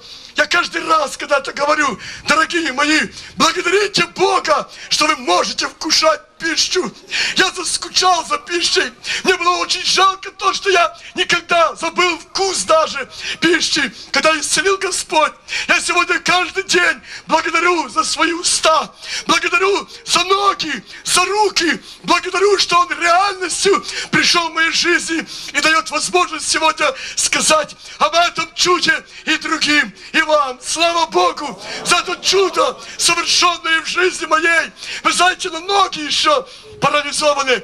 И в общем итоге оказалось неделька времени прошла. Я стал братьям говорить, братья, сколько вас есть? Придите ко мне на следующее воскресенье. Мой Бог ноги будет исцелять. Неделя прошла времени, мне Господь открыл на протяжении недели, что я буду исцелен. Исцелен в 11 часов утра в воскресенье. Я многим об этом говорил. Кто посещал меня, я рассказывал в 11 утра. Я говорю, только братьям, служителям не говорите, чтобы они не назначали на это чистые часы служения, то есть молитву. Они назначили на 9. Я хочу, чтобы пускай, как они назначили на 9, пускай так остается. А вот что в 11 произойдет, то никто не знал, знали только те друзья, которые меня посещали, то есть служителя, братья об этом не знали. Собрался народ на 9 часов, стали молиться. В комнате было много людей. Это не было на улице, это не было в молитвенном доме, это происходило частном доме. Но в итоге очень много людей знали об этом событии, знали о том, о моем состоянии. Многие церкви подвязались в молитве. И вдруг во время молитвы, первая молитва, вторая была совершена. А я каждый раз, когда молитва идет, открываю глаза и смотрю, когда же 11? Когда же 11? Господи, я жду 11. Сегодня к нам приехал один человек, который был неверующий. Он приехал из Сухуми. Этот человек, его имя Павлик, он сегодня находится в Сиэтле, это в Америке живет. Этот Павлик приехал неверующим совершенно. Я ему стал рассказывать, Павлик, как ты не поверишь в Иисуса? Посмотри, какой он живой! Бог исцелил меня. Я был глухой, слепой, немой. Многие, говорю, еще остались. Я, он говорит, я, я, я же тебя таким не видел. Даже тяжело, говорит, поверить этому. Я говорю, Павлик, знаешь что, посмотри. Так бросил одеяло со своих ног. А он увидел, что ноги синие. И говорит, неужели может такое произойти, чтобы с этих ног еще были здоровыми? Я говорю, ты знаешь, что завтра ровно в 11 мои ноги будут ходить. Он говорит, я вас попрошу, разрешите мне быть на такой молитве. Я за шкаф спрячусь. Я, говорит, хочу, чтобы меня никто не видел. Я не хочу, чтобы знали о том, что я пришел в такое общество. Ему, конечно, разрешили. Он присутствовал за шкафом спрятанный. Друзья мои, сидел на скамеечке, на стульчике за шкафом и ожидал, когда же Бог явит милость. И он говорил, я каждый раз смотрел на часы, когда же будет 11. И я смотрел на часы. И вот вдруг стрелочки сошлись на 11. И я вообще на, на полный свой голос закричал, Иисус, посмотри, уже 11. А ты сказал 11, потому я сделал такой рывок, попробовал подняться в своей постели, но мои ноги еще не слушались. Вдруг вижу, братья ко мне подошли очень быстро, подали мне руки. Один из братьев сказал, во имя Иисуса Христа, тебе говорю, встань. Я резко вскочил при помощи братских рук, вскочил на свои ноги, и в это время я почувствовал, что вот от поясницы до большого пальца пошла горячая струя. Я понял, что проявилась жизнь. В это время я попробовал сделать шаги. Один шаг, а потом второй шаг. А потом как начал прыгать, да я остановиться не могу. Я плавно поднимался в воздух до потолка и опускался на пол. И такими прыжками я ходил по комнате без человеческих принуждений. Совершенно. Я прыгал, создали такой коридор посерединке и дали мне возможность скакать. Я прыгаю по этому коридору, и при том без вмешательства человека. И такая радость, сила, Дух Святой с неба зашел. Благодарю Бога, что ноги новые. Вижу один из братьев, приехавший из города Винницы, это был Лысько Иван Петрович. Он увидел, что я прыгаю и решил меня приостановить, чтобы объясниться, что Бог уже сделал. Резко схватил меня под руку, и вы знаете, он не мог остановиться. Он сам начал прыгать вместе со мной, и без остановки мы скакали по комнате. Бог совершал свое чудо. Я говорил, брат Иван, как вы себя чувствовали? Он говорит, как мячик, как ребенок маленький. Я никогда в жизни, говорит, такого еще не ощущал. Это Господь, других слав нету. Это правда, это Господь. Еще один из братьев другой стороны увидел, что у меня еще одна рука свободна. В настоящее время этот брат тоже живет. Он находится возле Винницы, есть такое село Грыжинцы. Его имя Антон. Этот брат как раз вскочил с другой стороны у меня и резко снова взял под руку и начал прыгать вместе со мной снова. И мы втроем по комнате скачем. Вы знаете, мне кажется, если бы мы тогда все взялись за руки вместе, мы бы, наверное, никто бы не удержался бы стоять на месте. Но пока мы прыгали только вдвоем, без человека, втроем, без человеческих совершенно принуждений. Минут 15 наших скачков, а потом стали ниже, ниже опускаться и остановились. Я встал и говорю, братья, посмотрите, какой Бог. Мои ноги здоровы. Слава Богу. Я выбежал на дорогу, выбежал на улицу. Меня это солнце ослепляет. А я Бога благодарю, что есть глаза. Стал бегать по дороге и кричать, соседи, выходите. Я был слеп. Теперь вижу. Я был глухой, а теперь слышу. Я не говорил, был немой, а теперь разговариваю. Я не мог ходить, я прыгаю, я бегаю. У меня новые ноги. Вы знаете, соседи выходили, выбегали со своих дворов. Каждому хотелось прикоснуться, хотя бы попробовать. Это тот человек, который вот привезли парализованного, уже готового, врачами исчисленного, что дни жизни приходят к концу. И как раз это да, тот самый человек. Но не важно, какой человек, важно, что тот самый Бог, который вчера, сегодня и во веки тот же. Аллилуйя! Это Спаситель наш. Мои дорогие, молодой парень, этот Павлик, который был в Сухуми, во время прыжков моих, он выглянул из-за э, шкафа, выбежал на срединку, удержаться не мог, упал лицом своим на землю и кричал, Иисус, я жить хочу, не погуби меня. И вы думаете, Господь его погубил? Нет, Господь излил на него Дух Святой. И он тут же заговорил иными языками. Это Пятидесятница. Слава Богу, это Дух Святой, который сегодня заставляет тебя плакать. Стоит смиряться, стоит бороться, стоит за это жизнью отдать. Такой псалом поем. И вы знаете, я Бога благодарю. Может быть, вы устали стоять, мои дорогие, при таким Господом день и ночь на коленях нужно стоять, что Он открыл наши глаза, принять это чудесное спасение и прощение грехов. Аллилуйя! Имени Господнему слава! Это живой Бог! И в итоге не кончилось этим. Мне пришлось идти к врачам. Я очень торопился. Я хотел сказать как можно скорее. Посмотрите, что Бог сделал в моей жизни. Я явился первый раз в больницу, где было заседание комиссии ВКК. Это комиссия, которая то ли продлевала еще существование больничного листа, то ли снимали, то ли давали группу, то ли снимали группу. Я инвалид первой группы, сам никак не мог прийти. При первой встрече, зашедший к этим врачам, меня спрашивали, молодой человек, что вам здесь нужно? Я говорил, я Павел Франчук. Они говорят, вы не говорите о нем ничего. Если еще живой, так это счастье его. А в другом смысле, он уже, наверное, и умер.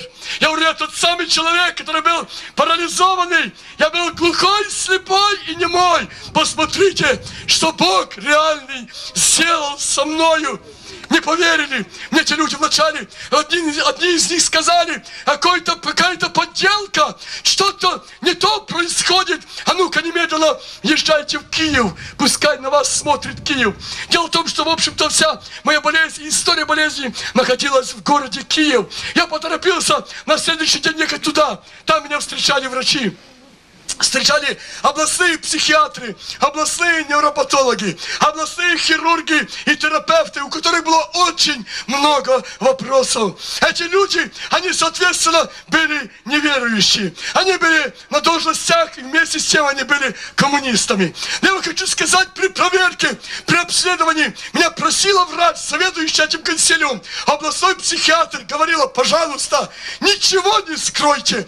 Все, что происходило у вас, расскажите вот нашему обществу. Мы хотим знать, кто это совершил, потому что есть снимки. Мне делали эндоскопию. Это японское зондирование, проверка моего желудка. И говорили, желудок уже все. Выходили прямо кусками на наружу. Возле меня мои друзья находиться более 15 минут никто не мог. А когда исцелил Господь, буквально все новое. И в итоге женщина, областной психиатр, поднялась и говорит, я Богу никогда не верила.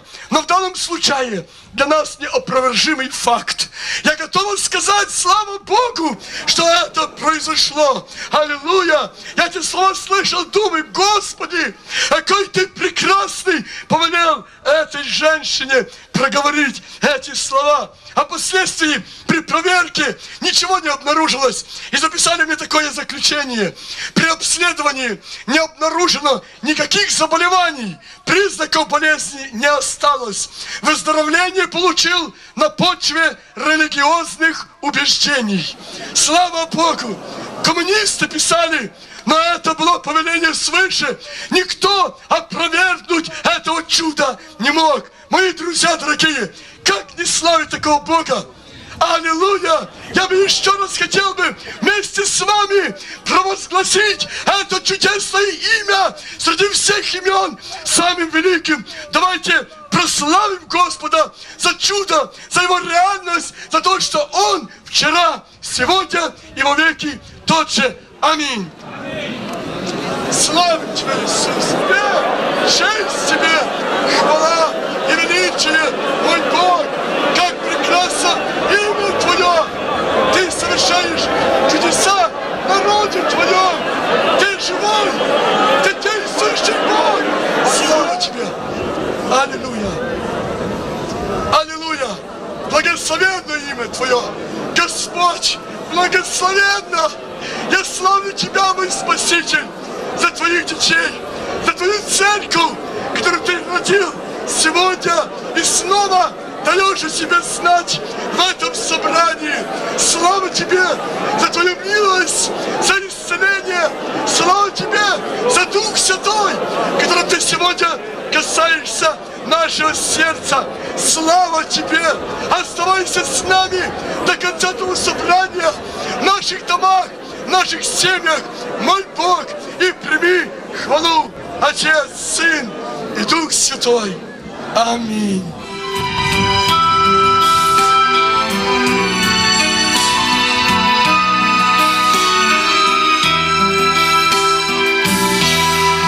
Моя Суламіте, я чую твій голос, мені з України дух вічний приніс,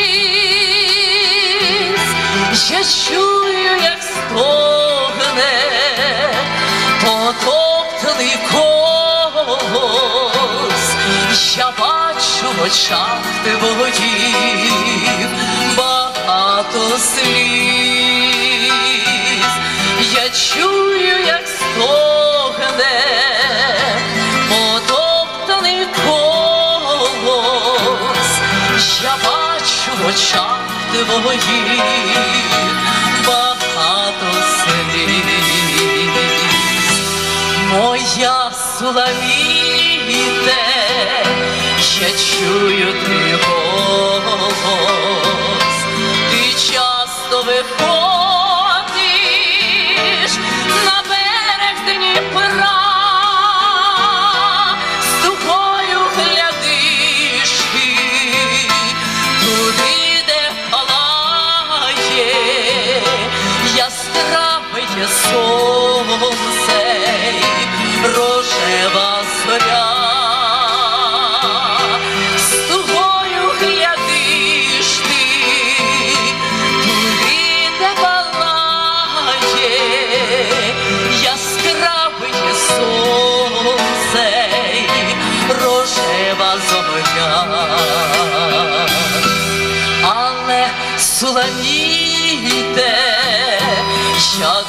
дуже бажаю, щоб більш ти ходила. Уранці щодня,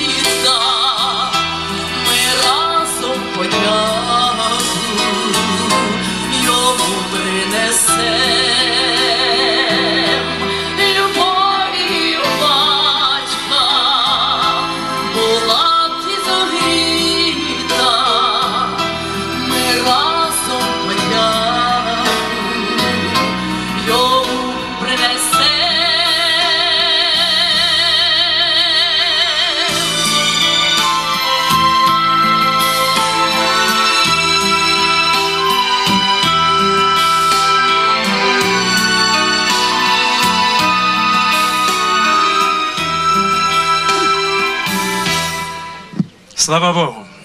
Мама у мене була з Волині, звідси тато із донських козаків.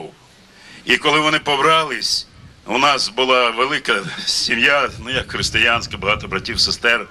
А потім нас вислали туди, коли радянська влада сюди прийшла в 39-му році, отуда на Херсонщину.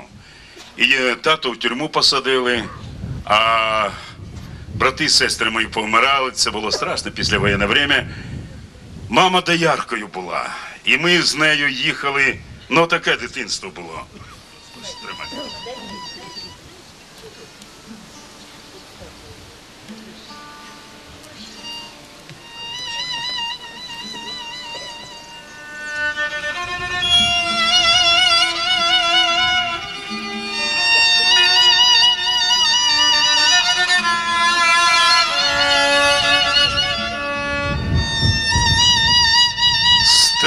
Без краю та сонце пекуче, та гармону той човен пливе, поли квіти та сіно пахуче, то життя босоноге моє. І матуся співає про Бога, про страждання Ісуса Христа. І я бачу, як доля дорога на Голгофу Христа повела, і я плакав, схилившись до мами серцем слухав чудовий той спів, і я вірив, що там на Голгофі я б собою Христа захистив. Ну а потім тато навернувся з тюрми, я вже десь був у сьомому класі. Він сказав, каже, синок, ти не слухай, маму, Бога нема. Якби Бог був, він би не допустив те, що робиться навкруги. Ти, синок, у мене талановитий. Ти в житті повинен здобути багато, ти йди вчись. А я повірив. Я пішов, знав я Бога, знав, але пішов вчитись. Я закінчив театральний інститут у Ки- у Києві, потім Москва, Московську консерваторію. Це вже другий був інститут. Ну і знаєте, почав працювати перші ролі в кіно, в театрі, поклонниці, цвіти. Ох, мені це нравилось. Не думав, це буду служити мамоні. Так буду служити, що е, женитись не буду. Бо жінка, діти, це буде заважати моїй кар'єрі. Але в 65-му році я їхав із Москви через Херсон до е, батьків у Каховку і заїхав у Херсон. Е, Там декілька концертів співав і побачив Валю. А вона вчилась в Одеській консерваторії по класу цього інструмента віолончель. І ви знаєте, я не знаю, як вона мене оженила. Я через два дні з нею розписався. Ну, коли не можна, времени немає. А коли вже ну так вийшло, я кажу, Валя, ми так як ото вийшло, значить, давай ми жити так, щоб у нас дітей не було. Бо, але пройшло время, вона каже, у нас буде дитина. Я з нею розвівся і поїхав. Коли дитина з'явилася, я повернувся до неї. І знову розписався з нею. І так, скільки у нас дітей, стільки у нас розводів. Ну, у нас троє дітей, ми розводили чотири рази. Е, Потім, ну знаєте, це я розказую іменно діяння сатани. Це так воно і є. Потім е, я почав, знаєте, випивати. Ну, Валя мене лікувала, так, Кашпировський мене гіпнотизував, Довженко кодірував. Оце, знаєте, чумак чумакував щось там. Потім разом з Висоцьким мені вшивали еспираль. Ну і докотився вже два рази судили мене тоді вже. І це вже було 91-й год, коли лікар, який мене там у нас у тарі, зараз вона з ведуча служення женського. А тоді вона була главний хірург, вона сказала мені, що у мене сироз печені. І залишилось мені жити десь півтора года. А це був 73-й год, коли я е, отримав саме велике звання. І я, син у нас якраз народився. Я не любив додому приїжджати. Кожен раз, як приїду, мама мені про Бога говорить, це мене дратувало, я знаєте, я тут, а тут думаю, не приїду зараз. Що мені мама скаже, «Ну, така ж цяця велика. І я прийшов, зайшов, а мама побачила, сказала, каже, синок, я молюсь за тебе. І я знаю, Господь мені сказав, я знаю, що Він тебе врятує. Але коли сам ти покаєшся, коли ти прийдеш до Господа, ти вже не людина. Я мамі сказав, я кажу, мама, ти мене більше не побачиш. І дітей моїх, я забрав, дітей мої пішли з хати. Через два дні мама померла. Це був 73-й год. А це вже 91-й. Але вона сказала, Господь тебе врятує. І це якраз так вийшло, що коли вже мені залишалось жити десь неділя, так як лікарі сказали. Але вона у мене ну знаєте, це ж сиро. І так вийшло, що я боявся помирати. Я не знаю, як то воно буде. І я вирішив покінчити. Покінчити життя. І це було субота. Я думаю, піду в театр, візьму ноти. Це єдине, що залишилось у мене. Все було пропито. У мене дочка, вона чемпіонка світу, міс Франція по красоті. У неї 25 тільки золотих медалей було. Це все було пропив я. І думаю, піду, візьму ноти, віддам сину, а сам піду і це зроблю. І коли я прийшов у театр, до мене підійшли троє так, чоловіків, сестра з ними одна така пожила, і дівчинка. І один із них каже: ми прийшли спасати душу. Люди, це 91-й год. В 73-му році мама сказала. Ну я кажу, а як підемо душу спасати? Я ж алкоголік. Я кажу, йдемо туди, там по 100 грам наливають, там можна випити. А він каже, ні, ми кажемо, будемо молитися. А це був Олександр Попов з Прибалтики. Багато знають братів його. І вони мене там, коли якраз е, там, хто був в Одесі, там такий фонтан є, е, полірояль. І вони мене там окружили і замолились. Це були два фіна, і оце ж Олександр Поповий. Та замолились так, знаєте, як наші моляться. А тут ідуть, приходять мої колеги ж на роботу, кажуть, та це Багачов, знову говорить, запої.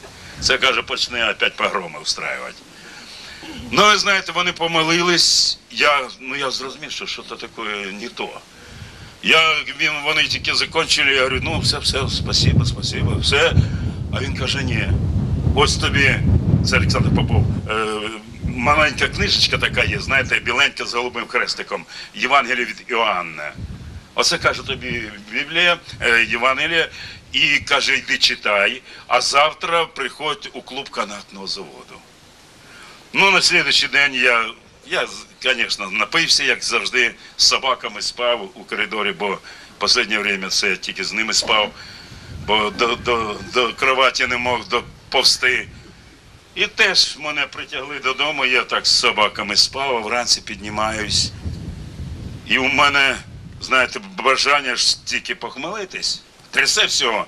А у мене дивлюсь, із кишені випала оця книжечка.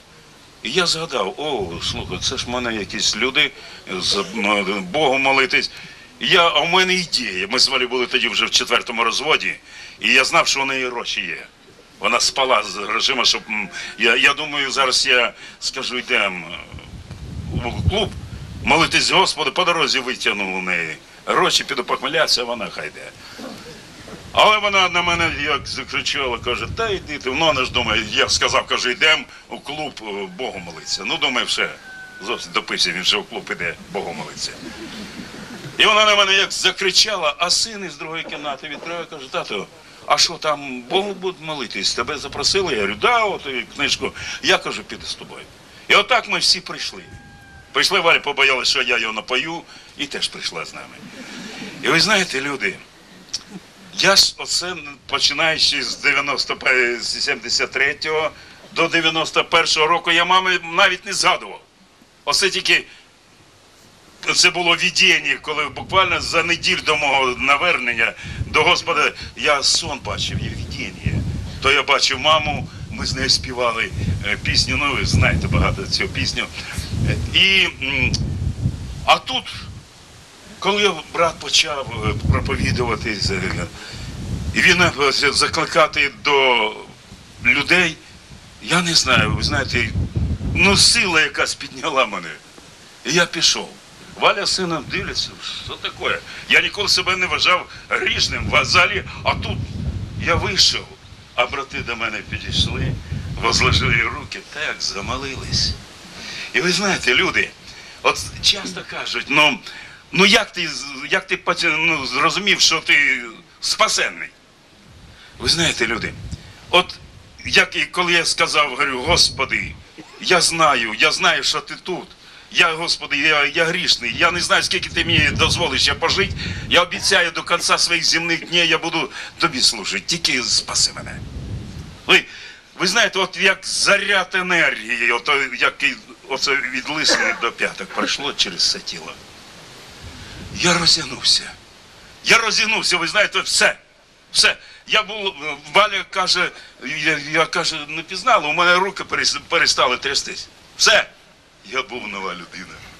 Все, Господь. Ви знаєте, ну а потім так же ж, як Біблія говорить, спасешся ти і весь твій дом. Е, Через на слідуючий день, це було в неділю, я покаявся, а у вівторок син вже прийшов до Господа.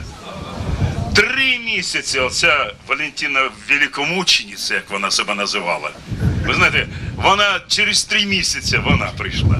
Через півроку оця чемпіонка Юлія, вона стала. І через год е, враг номер один, моя теща стала християнкою.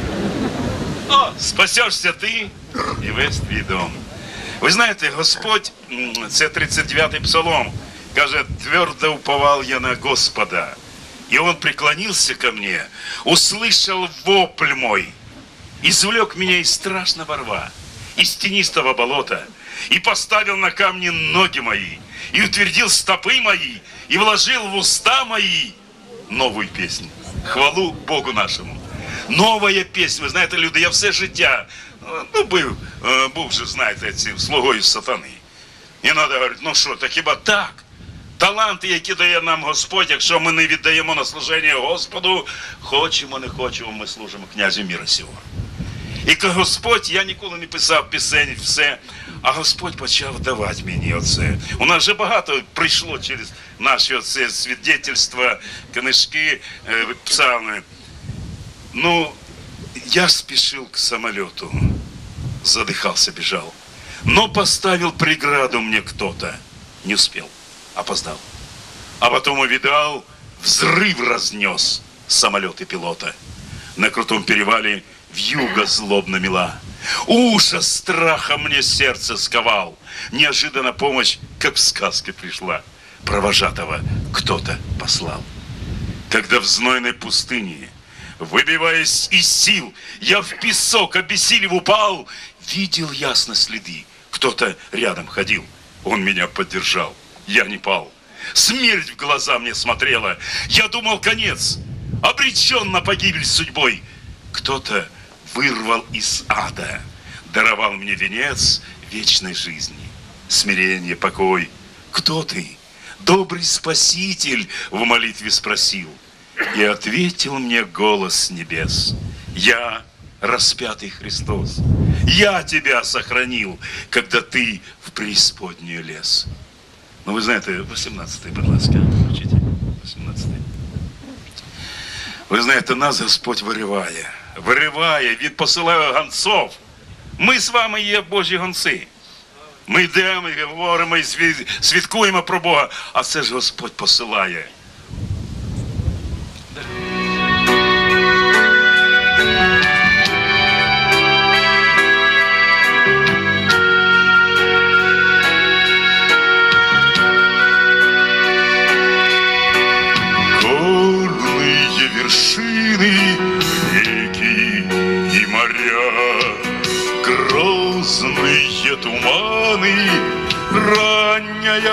Заря.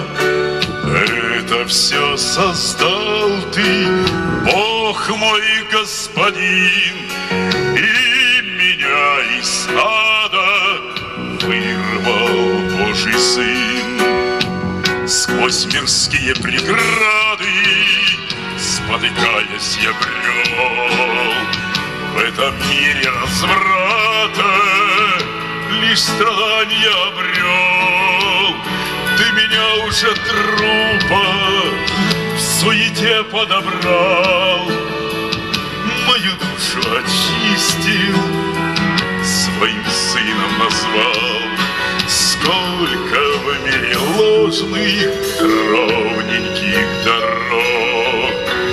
Их конец пучина, их предел порог скачут и вопят И в своем безумии они летят. Сквозь мирские преграды Спотыкаясь, я брел В этом мире разврата Лишь страдания обрел Ты меня уже трупа В суете подобрал Мою душу очистил Своим сыном назвал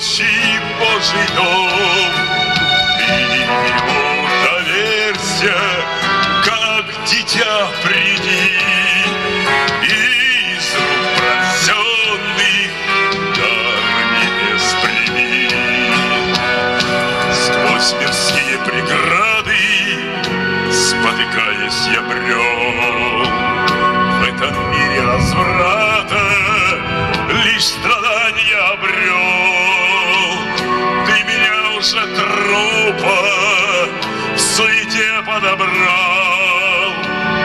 Мою душу очистил Своим сыном назвал.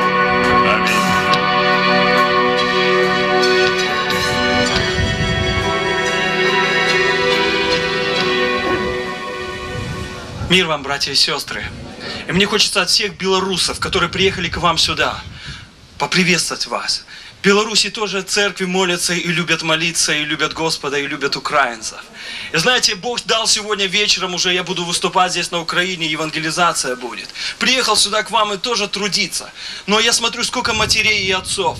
Я вижу молодых людей, которые, вот я замечаю, которые пришли подивиться, как у вас говорят по-украински. Пришли посмотреть и, посма- и посмотреть, что же здесь происходит. И я коротко скажу, я вот смотрю, и я вспоминаю свою маму. Сколько она пла- плакала за меня, сколько она переживала за меня, как и однажды она не выдержала. И она сказала такие слова Горбатова, могила исправит.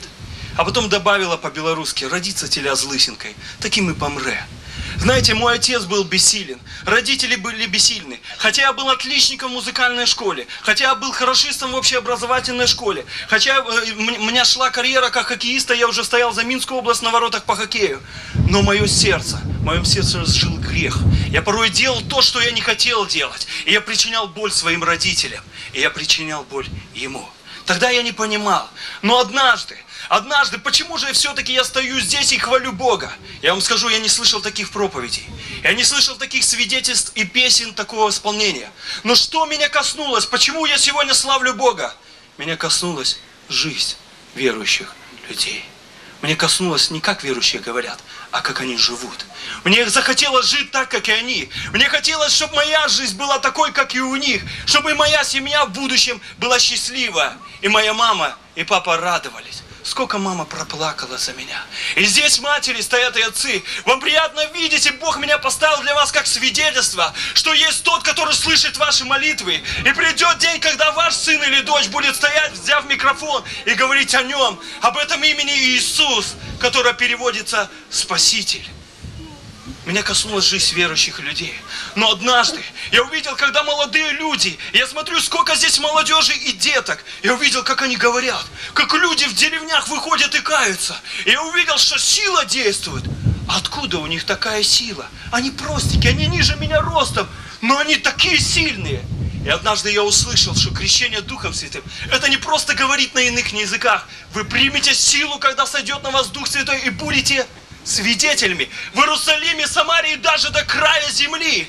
И мне сказали, что молись о крещении Духом Святым не просто, чтобы говорить, возьми силу, иди, проповедуй другим, расскажи, что сделал твой Господь.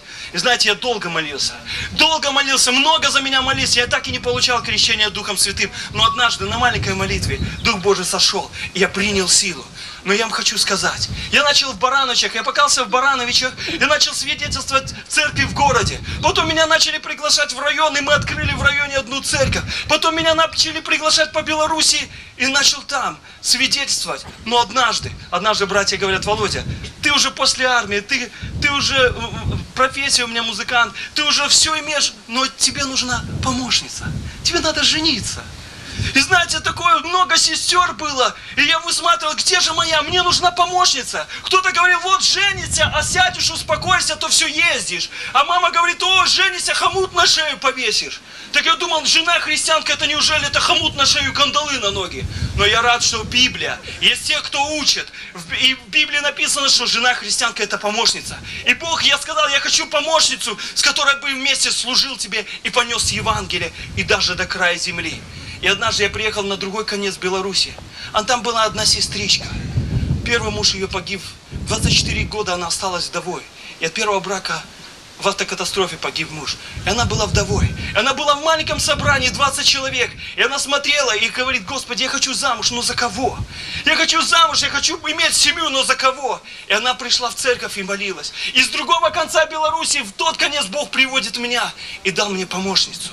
Буквально как только мы поженились, буквально с- в этот месяц мы стали миссионерами. Нам пригласили свидетельствовать туда, там, где я служил, на Кавказ. Я служил в Азербайджане, и меня пригласили быть миссионером в Азербайджан.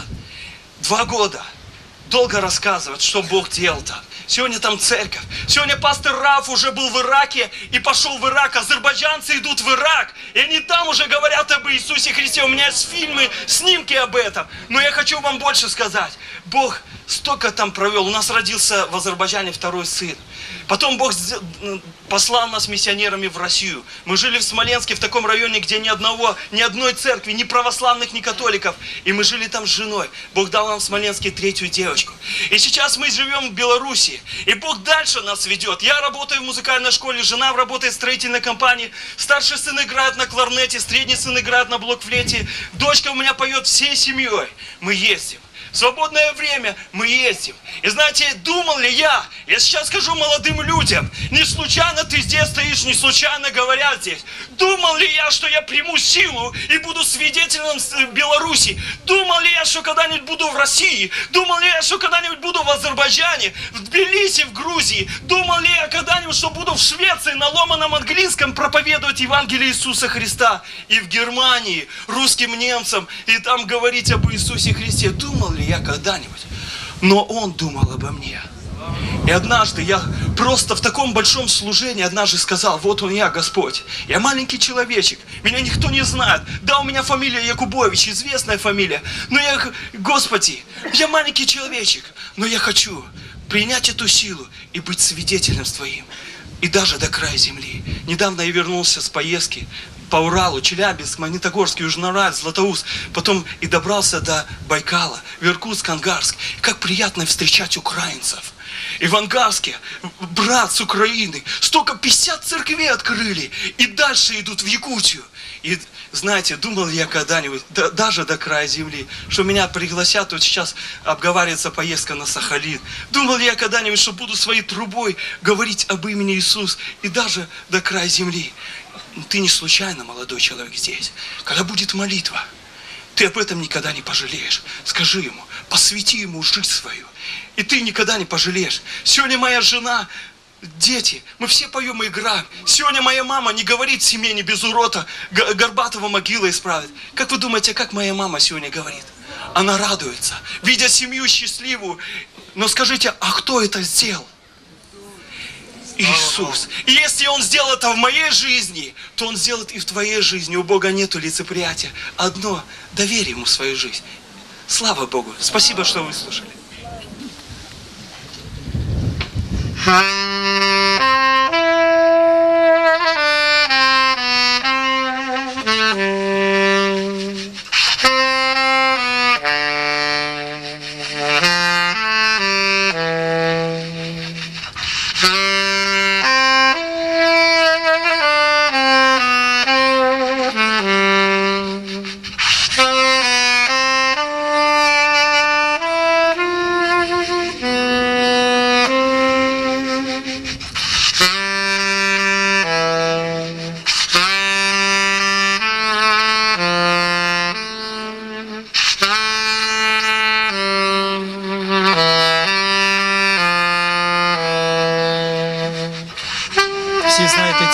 Великий Бог.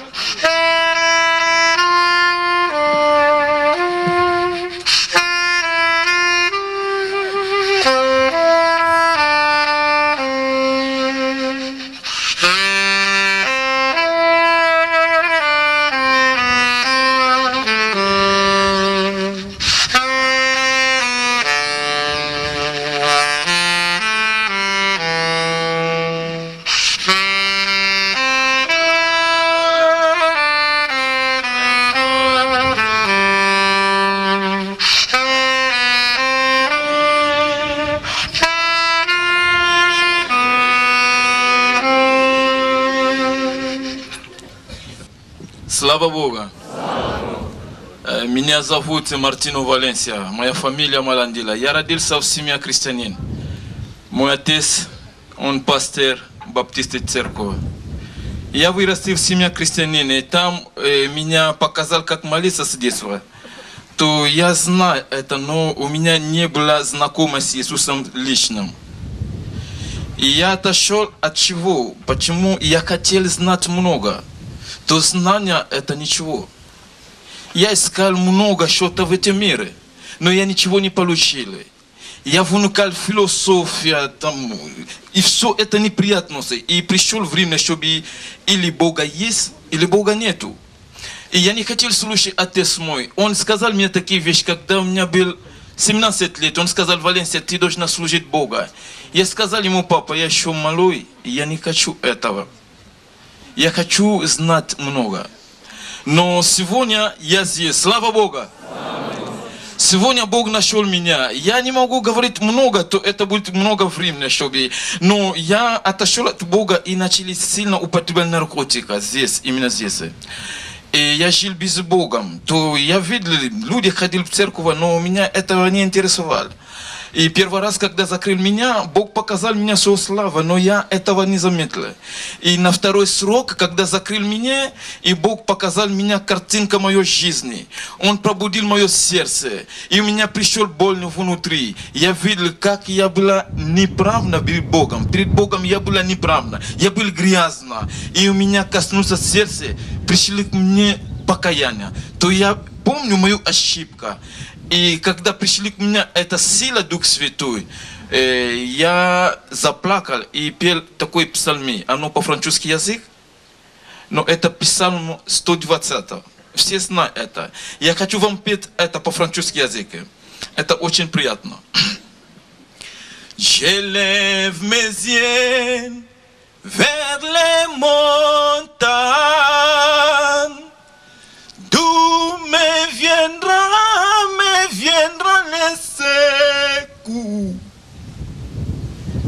Oui, le secours me vient de l'éternel qui a fait les cieux et la terre. J'élève mes yeux vers les montagnes,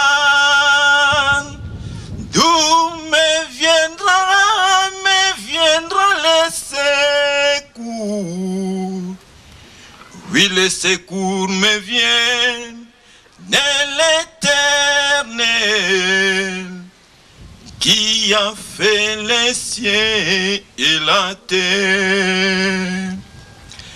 Oh, sois loué mon Dieu, sois glorifié. Sois glorifié, sois loué Seigneur. J'élève mes yeux vers les montagnes. D'où me viendra, me le secours? Oui, le secours me vient de l'éternel qui a fait les cieux и la terre. Это была сильно писальми, которая коснулся моего сердца. И Бог сделал чудо. На это время я покался прямо на Лукьяновка тюрьма. Это было в 2003 году. То Бог коснулся моего сердца, я начал понимать жизнь мою. Бог сделает меня нового человека. Вот сейчас я нахожусь между вами, Господь. Меня сделает новый. Иногда больно бывает, когда Бог предлагает человека путь. Когда Бог, это всемогущий, показал человека путь, но человек отказа. Если бы был какой-то брат, допустим, брат Илья, я могу сказать, это человек. Или брат Павел, я могу сказать, это человек. Но когда Бог показать человека, вот вот путь, надо идти в этот путь, и человек отказа, это очень плохо, братья. Это был такие всякие случаи человека пропадать. Он пропал в большой город. Я вам рассказываю маленькая история. Он пропал, этот человек в большой город, и он не знал, куда идти. И он искал путь, и он не знает. Во-первых, он язык не знает. И он искал и просил много людей, и он не знает. Это произошло в Париже. И он прошел мимо, там была большая схема. И на этой схеме написано, чтобы ты съесть. Слава Богу! Ты съесть. То если есть человек, который потерялся, который может, не может найти пути, надо знать, братья, сестры, друга, здесь. На этом месте ты можешь найти путь к Богу. На этом месте ты можешь найти путь к Богу. Иногда мы искаем друзья, которым может нам помогать, чтобы решить какие-то вопросы. Но иногда не получается. Только через Библию ты можешь познать все истины. Через Библию ты можешь решить все вопросы. И чтобы знать Библию, надо посещать собрания, братья. Надо посещать собрания. На этом месте я смотрю только люди. Я очень-очень рад видеть эти люди. Почему они пришли здесь, эти люди? Почему? Они пришли дать Бога славу. Слава Богу! Я вижу молодые люди, я вижу, это очень благословенные дети. Когда-то я приехал в Украину 10 лет назад, такого не было. Когда я приехал здесь, хотя бы я был быв, бывший грешник, но я ждал это пробуждение. Я сказал такие вещи в моей соседи. Я говорю, слушай, будет время, что молодые люди, и будет только люди, будут благословить Бога. Я очень благодарю Бога за то, что я вижу это пробуждение. Слава Господу! Потому что я когда-то видел, слава Бога, даже я был грешник, но видел, когда приехали Ренар Бунке в Заир, там был два с половиной миллион людей в площади. Это было сильное пробуждение. Я говорю такие вещи. Почему в Украине такого нету?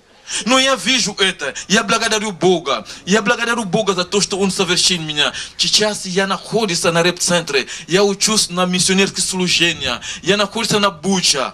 Там есть э, наши центры, где много людей, которые были отвержены в этом мире. Там были отвержены большинство. Но эти люди, они сегодня евангелисты. Слава Богу!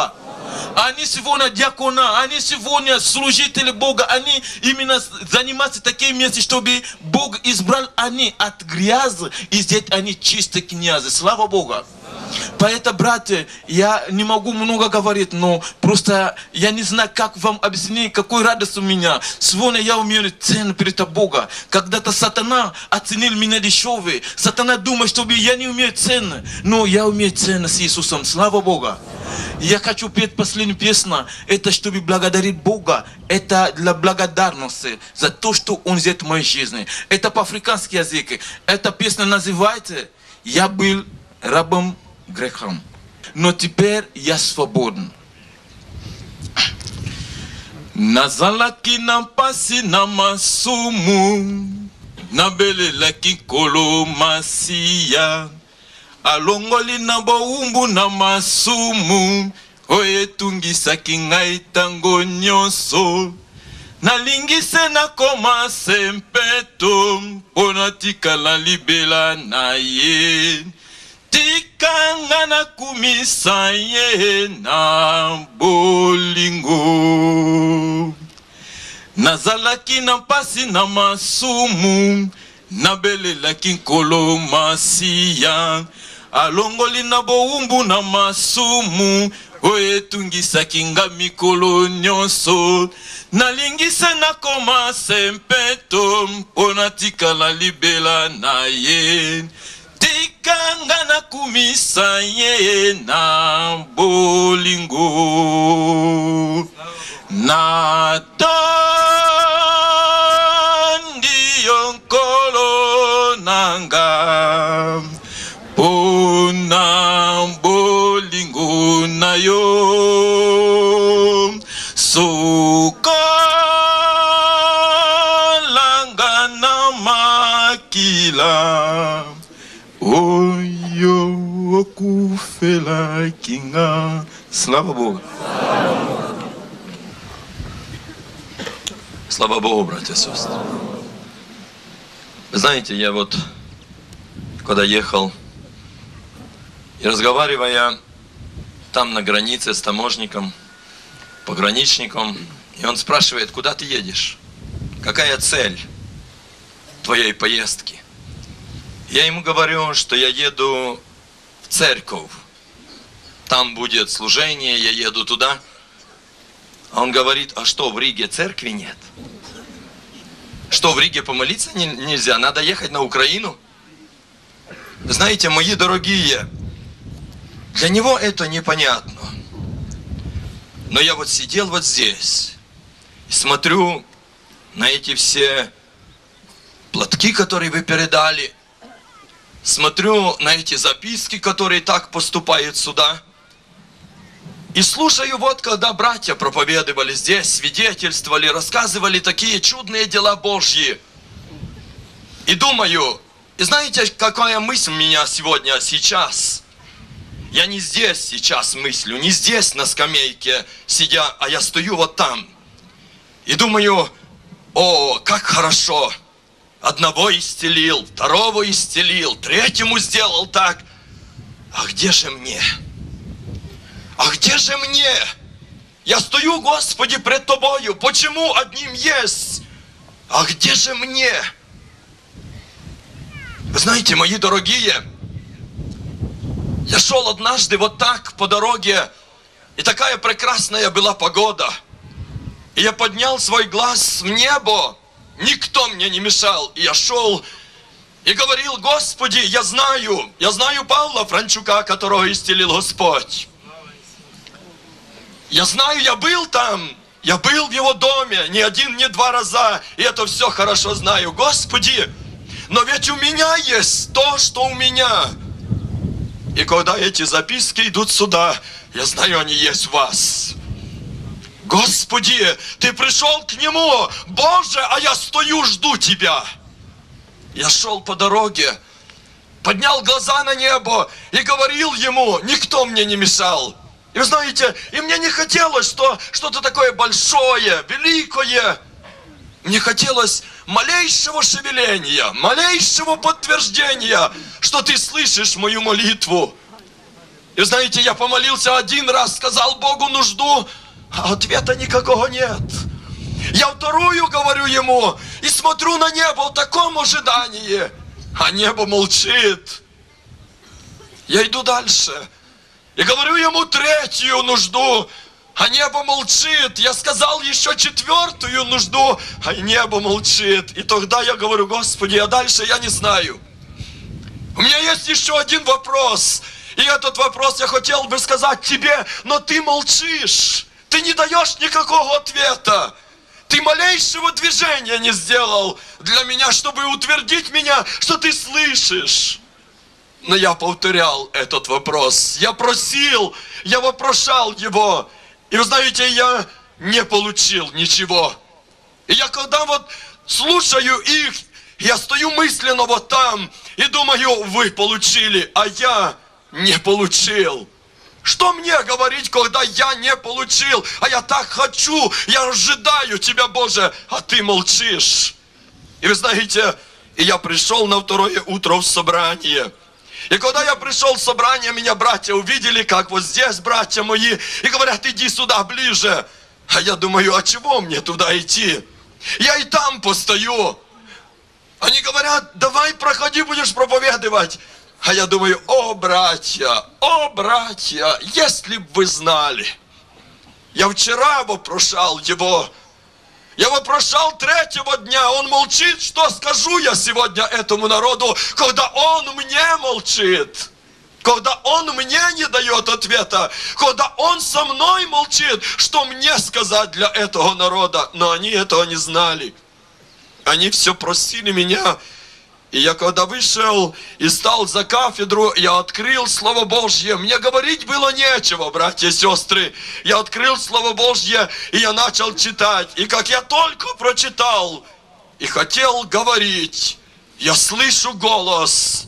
Стоящий народ, там не было скамеек, там стояли, как вы. И когда я только начал говорить, и Бог поднимает одного из сосудов и говорит, сын мой, ты вчера, идя по дороге, поставил четыре нужды и один вопрос. И теперь слушай, я буду отвечать тебе. Аминь. О, как я хочу, чтобы Бог заговорил до вас. Аминь на эти нужды, Ава Отче. На эти платки, которые вы передали. Я стоял так же самое, и он говорит, вот нужда твоя, вот первая нужда твоя, называет мне нужду и дает мне ответ.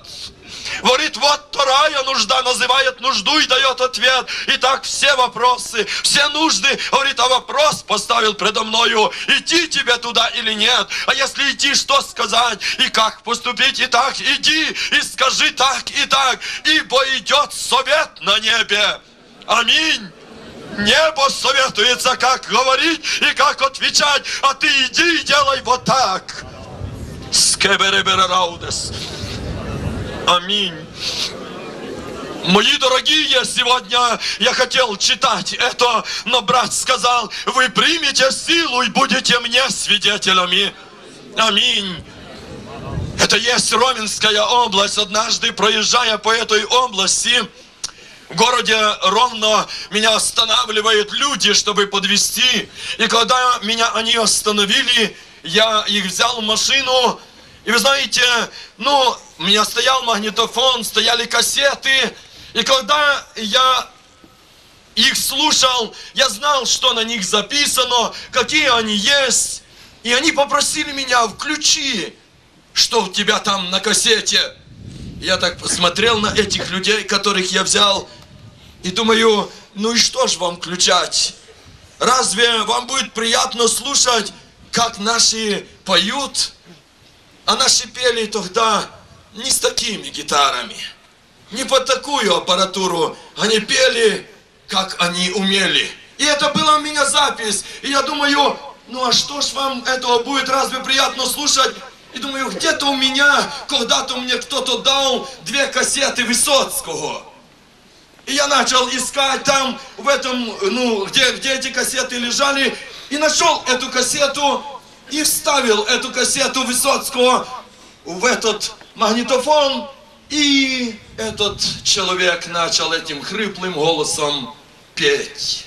Я не унижаю его, у него такой был голос, он так пел. И когда я включил, знаете, такой доволен, ну, что я выполнил ваше, для вас я вам подал.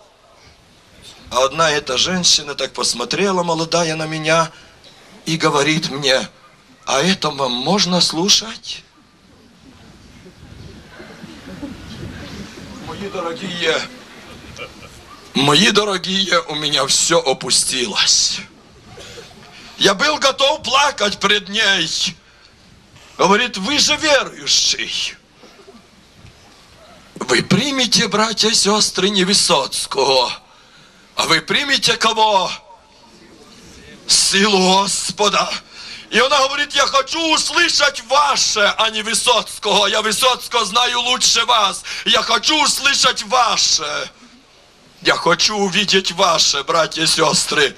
Я хочу увидеть, и народ хочет видеть, не то, что мы подаем им Высоцкого, а увидеть силу Божью в нас. Аминь. Аминь. Хвала вечному Богу. Имеем ли мы эту силу? Они хотят увидеть сегодня.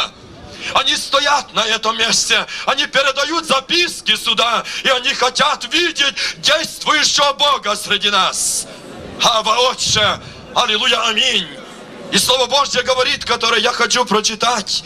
Это есть место Священного Писания записано. Это есть книга пророка Иезекиила. Написано 12 глава и со второго стиха. «Сын человеческий, ты живешь среди дома мятежного. У них есть глаза, чтобы видеть и не видят. У них есть уши, чтобы слышать и не слышат. Потому что они мятежный дом. Ты же, сын человеческий, изготовь себе нужное для переселения. И среди дня переселяйся пред глазами их. И переселяйся с места твоего в другое место пред глазами их. Может быть, они уразумеют, хотя они дом мятежный. И вещи твои вынеси, как вещи нужные при переселении днем пред глазами их, и сам выйди вечером пред глазами их, как выходят для переселения. Я думаю, мои дорогие братья и сестры, вы знали это место Священного Писания. Но Слово Божье нам сегодня говорит, мои дорогие, я хотел бы сегодня обратиться к каждой душе, молодому и старшему, что на сегодняшний день Бог собрал нас на это место не для того, чтобы только лишь бы показать пред людьми, что вот смотрите, сколько людей съезжается. Но Бог собрал нас и нечто говорил до нас, и нечто говорит нам, и нечто будет говорить нам. Готово ли сердце наше выслушать? Аминь. Готово ли сердце наше слушать, когда говорит сам Господь? Если это сердце готово слушать, то Он говорит сегодня, мои дорогие, остановитесь на путях ваших. Аминь. И рассмотрите, и расспросите, и узнайте, где путь древний, и идите по нем. Аминь. Хвала вечному Богу. Бог говорит нечто, но мир говорит, иди новым путем. А Бог говорит, стань на то место, на котором ты должен стоять. Ава Отче, Аллилуйя, аминь. Почему мне сегодня молчит Бог? Почему я молюсь до Бога, а Бог молчит? Вы знаете, мои дорогие, однажды мне звонит один человек и говорит, пастор, пожалуйста, помолитесь за меня, чтобы мне перестал болеть живот мой. А я говорю, почему он тебя болит? Я задаю ему вопрос, а он говорит, вы знаете, пастор, когда я выпью, он мне очень болит. Я говорю ему, так перестань пить, и он перестанет болеть. Он говорит, нет, пастор, я люблю выпивать, но вы помолитесь, чтобы он не болел. Мои дорогие братья и сестры, я люблю жить, как я хочу, но я хочу, чтобы мне говорил Господь. Будет говорить? Нет. Ты слышишь, что говорит Бог? Нет ответа. И сегодня, если ты хочешь, чтобы заговорил Бог, Он говорит, остановись на пути твоем. Посмотри, куда идут стопы твои. Посмотри, куда идут ноги твои. Посмотри, куда глаза твои смотрят. Посмотри, что делают руки, ибо небо готово говорить. Готов ли ты выслушать голос Божий? Аминь. Пусть даст Господь сейчас силы выслушать, что будет говорить Господь. Аминь. Ибо контроль Божий идет по стану народа. И он смотрел, где были ноги твои вчера, аллилуйя, аминь. Где был ты сегодня, Ава Отче, когда ехал на это место, ибо Дух Святой проходит, аминь. Скеберемене эрмена удесамен, Ава Отче. Ермене фараїус. Кубире бере кутуре бере эрмина удес. Almana mana шенкелеу седель. Iskemena kuteri bere ermin tu kantaraudes. Итак, слушай голос мой, народ мой. I borenču kuntu insuntan tarbasan. Я Бог, творящий чудеса свои среди тебя. No čukotere iskili bele kutini min. Но вместе с тем я Бог, строго взыскивающий с тебя. Kuntore mastulita. И с кем имею дело, как не с тобой, народ мой? No ček kutini mine elesant. Исчахла душа твоя, иссохло тело, и дух обныл. Чем кормить тебя и что давать тебе сегодня? О, будь бодр и слушай голос мой далее. День склоняется к вечеру, и сумерки уже видны. Но еще там полнота моих радостей, где закат не произошел, и мое сияние светит. И чистота моя будет просвещать глаза тебе, и я дам тебе великое знание, когда ты будешь бодствующим. О, мой голос тебе сегодня, обратись ко мне, говорит Господь. Ибо я гнушаюсь многими, даже многими одеждами многих. Но мое дело говорит тебе, и сегодня голосом своим я пробуждаю твой дух. Aski Адские муки объяли многих и не имеют силы из миллион ma santanas. Но часть моя, народ мой, говорит Господь, Я буду обличать его, но и буду миловать при покаянии. Именем, именем Господа Бога будешь врачевать ноги, говорит Господь.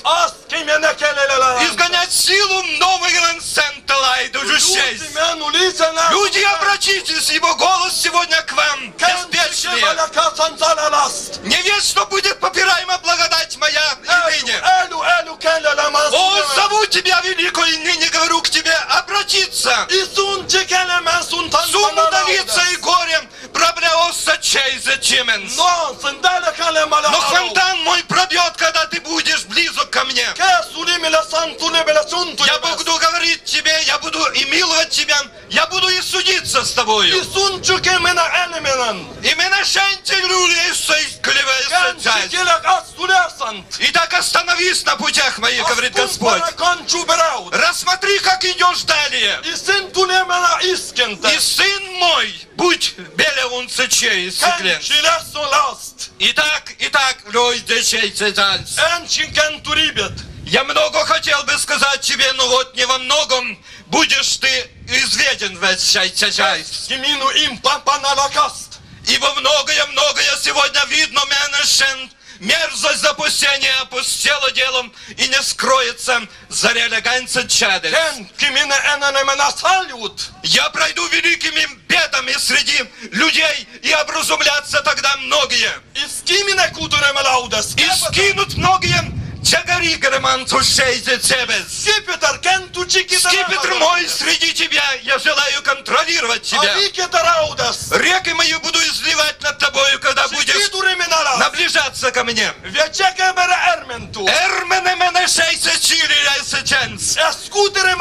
Я желаю сегодня врачевать тебя здесь, на всем месте, говорит Господь. Kudere mene kabaru Вечеру делить среди тебя. Иные усомнятся, а многие получат то, что просят. Raudes Мой голос тебе, ныне обращайся, аминь. Amin Amin Rebe raudes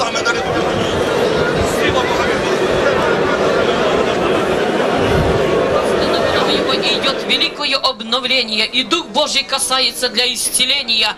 И сила моя идет по междурадью Романа Сгелбери Гломина.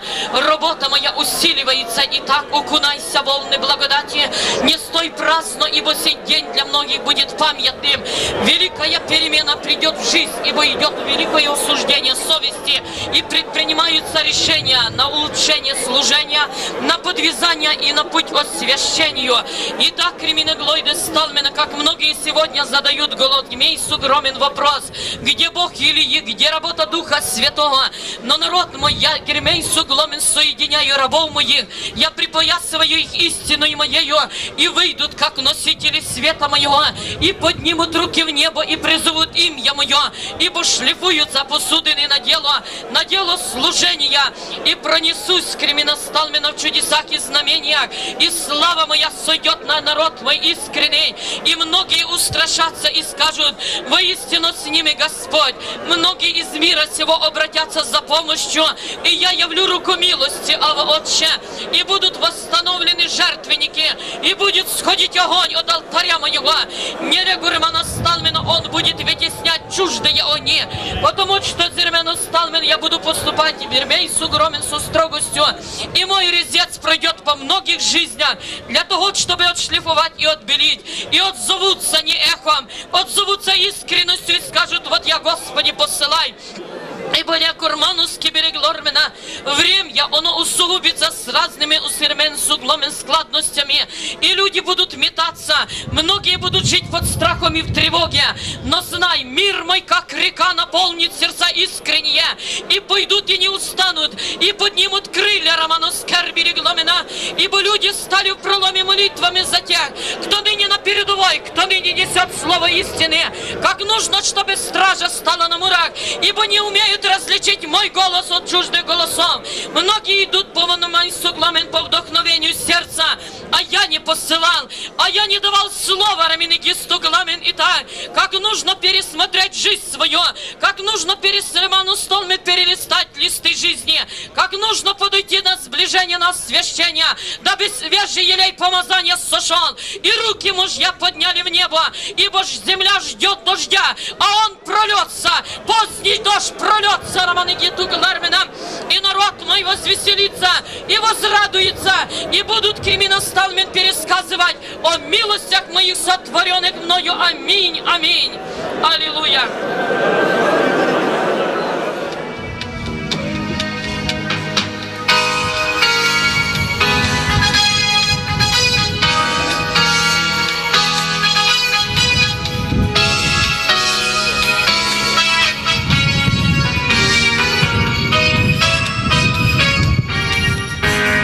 Рассусился над всей землей, Зло свирепствует яростно, Люди в страхе от ужаса, Ожидая конца.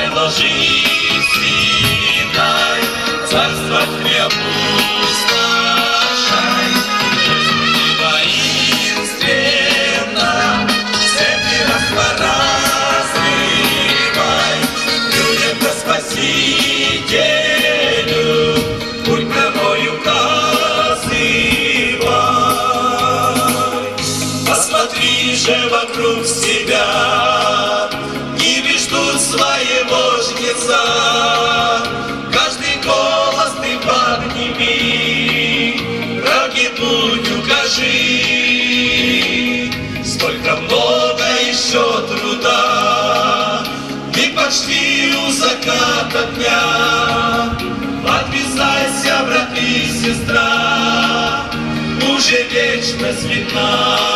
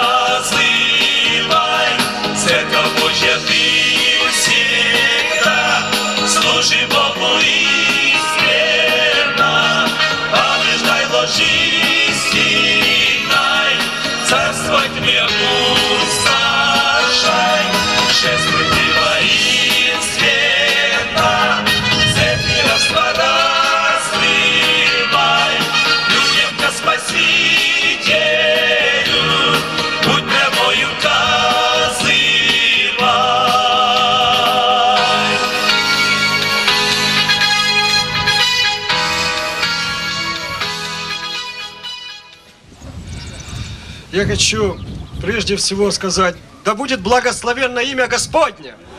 Слава Господу! Вся слава только Ему, Богу Израилеву. Аллилуйя. Я зачитаю вам слово Исаии, 62 главу. «Не умолкну ради Сиона и ради Иерусалима не успокоюсь, доколе не взойдет, как свет, правда его, спасение его, как горящий светильник. И увидят народы правду твою, все цари славу твою, и назовут тебя новым именем, которое нарекут уста Господа. Будешь венцом славы в руке Господа, царской диадимой на глане Бога твоего». На стенах твоих, Иерусалим, я поставил сторожей, которые не будут умолкать ни днем, ни ночью. О, вы, напоминающие о Господе, не умолкайте. Не умолкайте перед Ним, доколе Он не остановит, доколе не сделает Иерусалима славою на земле. Слава Господу! Аллилуйя! Действительно, как чуден Господь. Иисус, Он сейчас на небесах с Отцом. Слава Господу! А Дух Святой Он здесь. И я скажу вместе с вами, Господь царствует. Вся вселенная Ему повинуется. Слава Ему! В 92 году, я попробую вкратце сделать. Господи, помоги. В 92 году я заканчивал Академию внутренних дел МВД Украины. И вот был уже капитаном милиции. До этого я не слушал и не знал Господа. Но когда случились у меня проблемы, а проблемы были серьезные, я развелся с женою, я обращался к бабкам, гадалкам, к экстрасенсам, и дошел до такого состояния, что я хотел жизнь самоубийством покончить. И вот дошло до такого состояния, когда я приехал очередной раз домой, и жена моя, она на четвертом этаже живет, в моем же доме, я стал на ветку, выбрал хорошую ветку, взял, сделал петлю и сказал, ты будешь виновата во всем. И вот я когда посмотрел на небо, было теплое августовское небо. Это такое небо красивое, звездное. Я посмотрел, как-то и не хотелось было умирать, но сатана шептал, давай, быстрее, и все закончится. И вот я посмотрел в небо и сказал, Господь, если Ты есть, спаси мою душу, я буду Тебе служить. Иисус, слава Тебе. И вы знаете, совершилось великое чудо. Аллилуйя, слава Господу. Я прыгнул, я закрыл глаза, петля на шее, я прыгнул. Четвертый этаж. И я потом ничего не помнил. Потом очутился я на земле. Я смотрю, лежит ветка, лежит эта петля на шее. Я смотрю на эту ветку, эта ветка отсечена. И так отсечена, как будто бы ее лезвием срезали. Я испугался. Я себя щипал. У меня звенело в голове, я ничего не понимал, что происходит. Я потом понял, что я здесь. Я стал на колени первый раз и начал взывать и славить Господа. Я пришел домой, я не мог спать. Я благодарил Его, слава Ему. Это Господь, Он Бог чудес. Я даже не чувствовал удара. Когда я прыгал, то у меня как будто бы руки. Я понял, что это Господь меня опустил, слава Ему. Я до этого, я знал, что такое прыгать с парашюта. Я в армии служил в десантных войсках. Я занимался рукопашным боем, был мастером спорта по карате, кикбоксингу, был, также стрелял, любил это дело. Но я хочу сказать, когда в 92 году Господь первый раз обратился через одного брата, я ехал в поезде, Саша Вавилюк, ехали на Бонке, и братья мне, этот брат, он мне рассказал о Христе в вагоне-ресторане. Я плакал. Дух Святой тогда меня так наполнил, что слезы залили меня. Я не понимал, что происходит. Я до этого полтора года я не спал. Я забыл, что такое сон. И здесь мне так легко, так хорошо стало. Я говорю, и он мне поможет.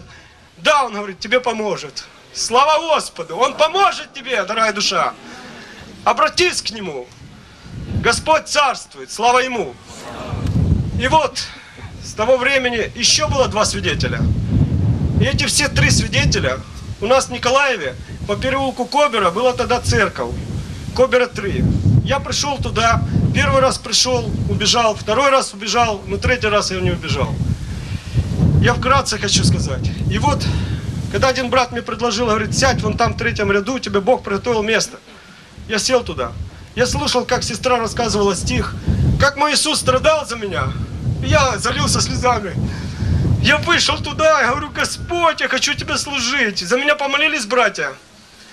Но я на то время уже был начальником БХСС, меня назначили в порт Николаев. Я думаю, как же ж я буду теперь работать? Что ж мне теперь делать? И вот такая была, думаю, ну что, приду, будет все нормально.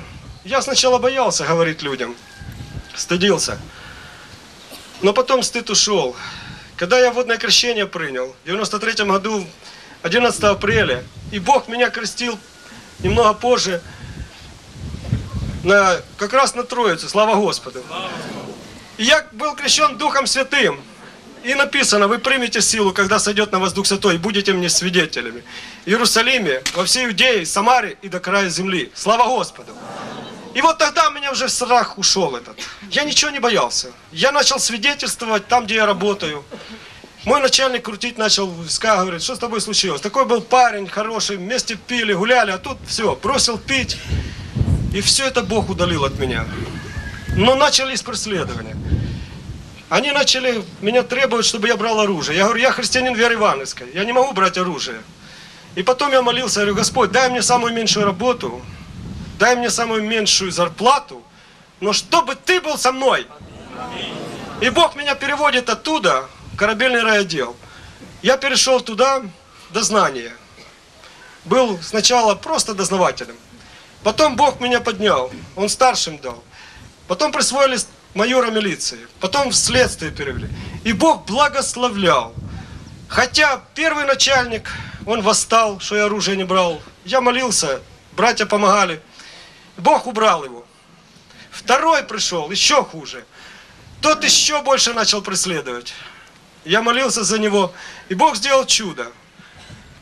Когда он хотел, вызвал меня очередную беседу, он говорит, так, с Нового года ты мне тут не нужен. Два года до пенсии осталось, он говорит, мне ты не нужен, ищи в себя, что хочешь. Мне как-то неудобно было, думаю, ну что, что Бог сделает, то и сделает. Будет, будет, а нет, то нет. Я говорю, ты начальник? Он говорит, да, Божий слуга, так поступай, как Божий слуга. Да благословит тебя Бог. И через два месяца этого начальника хотели уволить. И он ничего не понимал.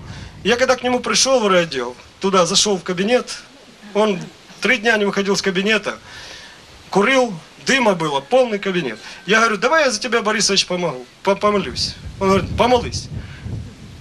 Я, он где-то отсюда, где-то с Ровенских мест. И вот помолились мы, а у меня уже в, каби- в нашем райотделе покаялось было пять душ. Они ходили уже, э, пели уже у нас. Так Бог через меня привел их. И эти сестры, которые работали там, вот, бухгалтерии, я прихожу к ним и говорю, сестры, будем молиться. Они как солдаты. Раз, косынки одели, на колени, закрылись и начинаем молиться. И вот мы молились за него, он поехал туда, приезжает радый, говорит, он был со мной, кричит, он был со мной. Я говорю, кто? Бог был со мной. Я говорю, слава Богу. Ну что, не увольняют? Нет. И когда он ездил на коллегию, он всегда просил, чтобы я за него молился. И вот так, ну потом все-таки его начали опять притеснять, опять за это оружие. Ну что делать? Я тогда, что говорю, я иду к генералу. Он говорит, а кто тебя пустит туда? Я говорю, Бог меня проведет. Я прихожу к начальнику управления, заму захожу, говорю, что мне делать? Он говорит, пиши рапорт. Я написал мотивирующий рапорт, написал, прошу освободить меня от хранения, ношения и применения оружия. Так как я христианин веры Ивановской, исповедую Иисуса Христа Назарея. Да благословит тебя Господь. Генерал-майору Шапирка, от майора милиции Панской. И, зах, и захожу туда, а эта секретарша говорит, а что он тебя пустит? Куда он денется? Говорю, сейчас пустит. Она позвонила, говорит, да, заходите. Я зашел, генерал, говорю, разрешите, заходи. Дал ему рапорт, он почитал, он читал его несколько раз. Говорит, ничего не пойму, что это за рапорт? Я говорю, я христианин веры Ивановской. А ты, говорю, христианин? Он говорит, да. Ну, раз христианин, говорю, вот тебе Библия, подарок. И дал ему Библию. Он, ну, садись. Начальнику следствия позвонил, тот говорит, работает. У меня, слава Богу, была работа, ни проблем не было с работой. Лучший следователь был, даже премию получал. По пять дел уголовных было выходило. Если каялись бандиты, я им прекращал дела. Если не каялись, суд направлял. И вот так вот у меня было. У меня в райотделе, в кабинете было полностью весь кабинет Словом Божьим обклеен. На все случаи жизни. И когда они заходили туда, я им за Ефесянам четвертую главу заставлял наизусть выучить. Кто крал, прыть не кради, делай своими руками, чтобы было что уделять нуждающимся. И так, и отче наш учили, слава Господу. И вот так Бог делал чудо. И когда генерал спросил у начальника следствия, он говорит, да, про, про претензий нету, все в порядке. Потом начальнику кадров говорит, да, залетов нету, все в порядке, только оружие не берет. Он по телефону ему говорит, ему оно и не надо, а вы зайдите ко мне. Я стоял, я смотрел, я удивился. Заходит этот полковник, он ему в приказном порядке говорит, выдать ему новое удостоверение, чтобы там не было хранения, ношения и применения оружия. Этот полковник смотрел, говорит, как, товарищ генерал, приказ же министра 115, человек не берет оружие, три месяца увольнять надо с работы, а еще надо еще и удостоверение сделать. Я вам приказываю, идите. Ну что ж, он меня так взял за руку, говорит, ну что, служи своему Богу. Я говорю, да, мой Бог всемогущий. Пусть тебя Бог тоже благословит и даст тебе еще одну звезду. И ему через два месяца присвоили еще одну звезду. Стал генерал-лейтенантом. И вот смотрите, потом после этого Бог начал использовать. Тогда я уже перестал вообще их бояться всех. Потом третий пришел начальник, тоже начал преследовать. Я говорю, слушай, мне уже два говорили. Я говорю, ты третий на очереди. Но он тогда уже перестал. И вот так Бог использовал. Тут приезжает комиссия министерская. И приехала комиссия министерская, я молился. И Бог сделал чудо. Вот они поприезжали, 38 человек приехали все. И генерал был у начальника райотдела в кабинете. Я помолился, говорю, Господи, что ты хочешь? Я взял Библию и пошел к нему. Гетца Библия, красивая, новую. Захожу, постучался, он говорит, заходи. Я зашел к нему, поздоровался, говорю, вот подарок вам, говорю, от Бога моего всемогущего. Читай и исполняй. Он так взял Библию, встал, говорит, о, это дорогой подарок. Спасибо, спасибо. Ну, я пошел себе. Выхожу, ну, походил там, потом прихожу в райотдел, говорит, иди тебя ищет первый начальник, заместитель начальника управления городского, Вандаляк. Вот, благословенный еврей, слава Господу. И вот он, Бог через него чудо сделал. Он попросил, чтобы я привез Библии, потому что вся комиссия захотели Библии. И вот я ездил к баптистам, у меня тогда не было на то время Библии. Я поехал до баптистов братьев, взял у него Библии, у них Библии, привез, и всем он сам лично раздавал, этот полковник. И потом, а был там еще один такой благослов- благословенный, пусть ему Бог благословит этот полковник, замначальника, первый замначальника обл- области, Жередека, Николай Кириллович. Я ему говорю, на тебе Новый Завет. Он говорит, мне не надо. Я говорю, ты первый зам? Да, будешь последним. Через два месяца он стал последним. Бог делает чудо. Я когда к нему в кабинет зашел, он бедный перепуганный, говорит, у тебя Евангелие есть? Скажу, да. Я говорю это, а что, зачем он тебе надо? да вот, говорит, начальник розыска управления пришел, говорит, ко мне, дай ему, говорит, нехай своим архаровцам даст. Пусть каются. Я говорю, да, ему тоже надо каяться. И вот потом сначала смеялись. Ну это, сейчас рассказывать это легко. А тогда было, когда психиатру отправили, три дня обследовали, когда психологам, слава Богу за это. И вот я благодарю Господа за эти испытания все. И скажу вам, чтобы я уложился. И вот я по-военному носил по- погоны, так что сказал, да, да. И разжить еще три минуты. Две, хорошо. И вот, значит, самое главное я хочу сказать. Если будете уповать на Господа, какие бы у вас трудности не были, то Господь вам всегда выйдет навстречу. Первая мать восстала против меня. Она благословенная еврейка, она сейчас уже служит Господу. Говорит, академию закончил, с ума сошел. В Бога поверовал. Я говорю, ма, ты тоже будешь служить. Придет время. Она сейчас служит Господу. Потом жена, она не хотела слушать и ушла от меня. С 91 года я был сам. До 31 декабря 2004 года. Бог мне дал жену. И у меня сегодня семья, слава Господу. Вот. На Новый год я праздновал свою свадьбу. И я благодарю Господа, что Бог это делает чудо. Бог сегодня делает великие чудеса. Сегодня у меня теща поет в хоре нашем. Жена стихи рассказывает, дети, они поют псалмы тоже в детском. Так что вот это все делает Господь. Слава Господу. Я благодарю Господа за все его великие милости. Это не я такой герой. Это Он делает нас героями веры. Слава Ему вся! Я хочу еще сказать самое важное, что я сейчас тружусь в миссии Гедеон. Мы ездим, проповедуем везде, вы знаете. Миссия Гедеон, она идет туда, куда не все ходят. Ну, Бог нас посылает. Я езжу в прокуратуру, в милицию, в суд. И я хочу сказать, в Вознесенске покаялось пять человек в исполкоме. Вместе с зам, замом их. Там раздавали новые заветы. Потом с прокурором Вознесенским молились. С Кадовским мы молились с прокурором, он тоже покаялся. И так вот, куда мне Бог посылал, во все органы власти. Я смотрю, Бог так вот и использует туда. В школах, в милиции, в тюрьмах, во всех учебных заведениях. Куда Бог посылает, мы там проповедуем Евангелие и раздаем Слово Божье. В больнице приходим, молимся за исцеление, Бог исцеляет. Я видел великие чудеса, когда Бог от рака исцеляет и других болезней.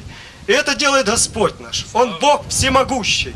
Я также в миссии еще тружусь в миссии еврея за Иисуса. Благословенная бабушка у меня была еврейка. Слава Богу за это.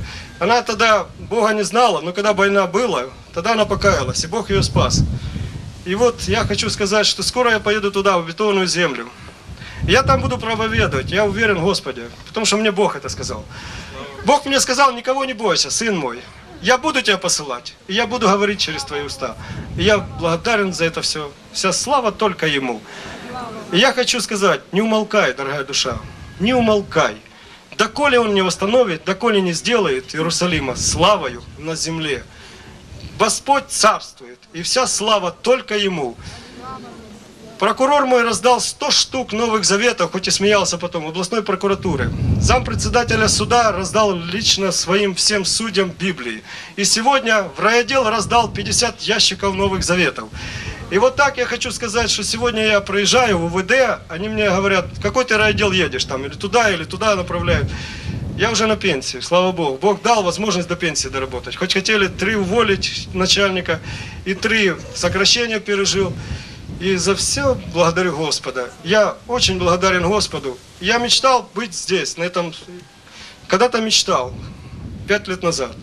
Я хотел ровно, мне говорили ровно там, да, да, такие служения. И вот я вижу, слава Господу, сколько Бог сегодня собрал людей. Аллилуйя. Дай Бог, чтобы вся Украина поверовала. А потом туда, в Иерусалим. Потому что оттуда началось оно. И там оно закончится. Слава Богу. Я хочу, чтобы мы помолились сегодня за мой народ, за евреев. Их не так много, всего лишь 36 миллионов. Но я хочу, чтобы эти все 36 поверовали. И скоро придет время, когда они возопьют к Богу и скажут, ей гряди, Господи Иисусе, и придет Господь. Слава Господу! Если вы согласны, давайте помолимся за народ наш, за евреев. Слава Господу! Отче благословенный, я благодарен Тебе во имя Иисуса Христа. Я просто благодарю Тебя, что Ты Бог чудес, Ты Бог всемогущий, Ты Бог вездесущий. И я благодарю Тебя во имя Иисуса. Боже, благослови, Господь, евреев. Ты начал оттуда, Господь. Из Иерусалима и иудеев началась вера. И этим закончится. Я молю Тебя, Отец. Я прошу Тебя, Отец, во имя Иисуса Христа. Во имя Иисуса Христа. Будь благословен и прославлен, Господь. Во имя Иисуса Христа. Пусть будет вся слава только Тебе, Отец. Во имя Иисуса Христа. Я благодарю Тебя, Бога Израиля, Бога Авраама, Ицхака, Якова. Баруха та Адонай Элухейну, Мелехам, Амен. Благословен Ты, Господь Бог, ведущий, Господь, слава Тебе, Рабени Чара, Бени Бени Келекафа, Ава Отче, Рабени Бени Келекафа, Єверехаха Адонай, Пана Велеха, Віхунеха, Іса Адонай, Пана Велеха, Єха Леха Шалом. Господь, слава Тебе! Господь, слава Тебе! Слава великому Богу Израилю, Отцу, Сыну и Святому Духу. Аминь. Будьте благословены. Вся слава Господу. Аминь. Дякуємо, хай Бог благословить. З якого коліна, брате? Я так думаю, что теперь одно колено самое главное. Иудина. Хай Бог благословить. Слава Богу. Читаю місце Слова Божого, яке написано в Євангелії від Марка. Увечері човен був серед озера, а він один на землі. І побачив їх, як вони мучаться, веслуючи, бо вітер був їм зустрічний. І близько четвертої сторожі ночі підійшов до них, ідучи по, по морю, і хотів минути їх. Вони побачили його, що йде по морю, подумали, що це привид, і закричали, бо всі бачили його і налякались. Але він тієї ж хвилини заговорив до них і сказав їм: будьте бадьорі, це я, не бійтесь. І тоді Ісус увійшов до них очовен, і вітер вщух. Слава Ісусу! Мені не раз приходиться згадувати історію, коли народ ізраїльський, знаходячись в Єгипті, Біблія каже, що Бог знаходить Мойсея, який пас там овець біля тернового куста, і говорить йому: Мойсею, я Бог батька твого, я чую стінання народа мого, я бачу огнічення їхнє. А тепер я посилаю тебе, виведи їх. Бог, який з висоти дивився на цей нарід, він бачив стони їх, бачив горе їх, бачив страдання, бачив цю всю біду, і він не стояв в стороні. Він знаходить людину, яка візьме на свої плечі, щоб допомогти для цього народа і вивести. Але не просто людина. Мойсей каже: Господи, якщо ти не підеш, то не виводь. Як іти без Бога, друже мій? Я знаю, що твоє життя нелегке. Я знаю, що трудності і проблеми вони є у твоєму житті, сидячи тут. Через мої руки проходили записки, і неволі сльози навертались на мої очі. Я бачив біду в твоїх сім'ях, в твоїх, в твоєму житті, в твоїй родині через ті записки. Я знаю, тобі потрібен Ісус. Він є на цьому місці. Бо він сказав, де два або три в ім'я моє, там я є серед вас. Слава йому! Алілуя! Я вдячний йому, що сьогодні його рука пробита, вона є простягнута. Тебе і мене на це місце привів Ісус. Не просто подивитися, не просто подивитися, який ти є і що ти одітий. Хоча і це він бачить, але він прийшов, щоб розв'язати твої проблеми, щоб випустити тебе з неволі, щоб звільнити цей тягар, який давить душу твою. Алілуя! Учнів Ісус відправляє на другий бік, а сам остається в молитві. І серед ночі, коли учням було трудно, коли було тяжко, коли вони страдали, він бачив їх там задалеку віддаль. Ісус бачив їх. Слава йому!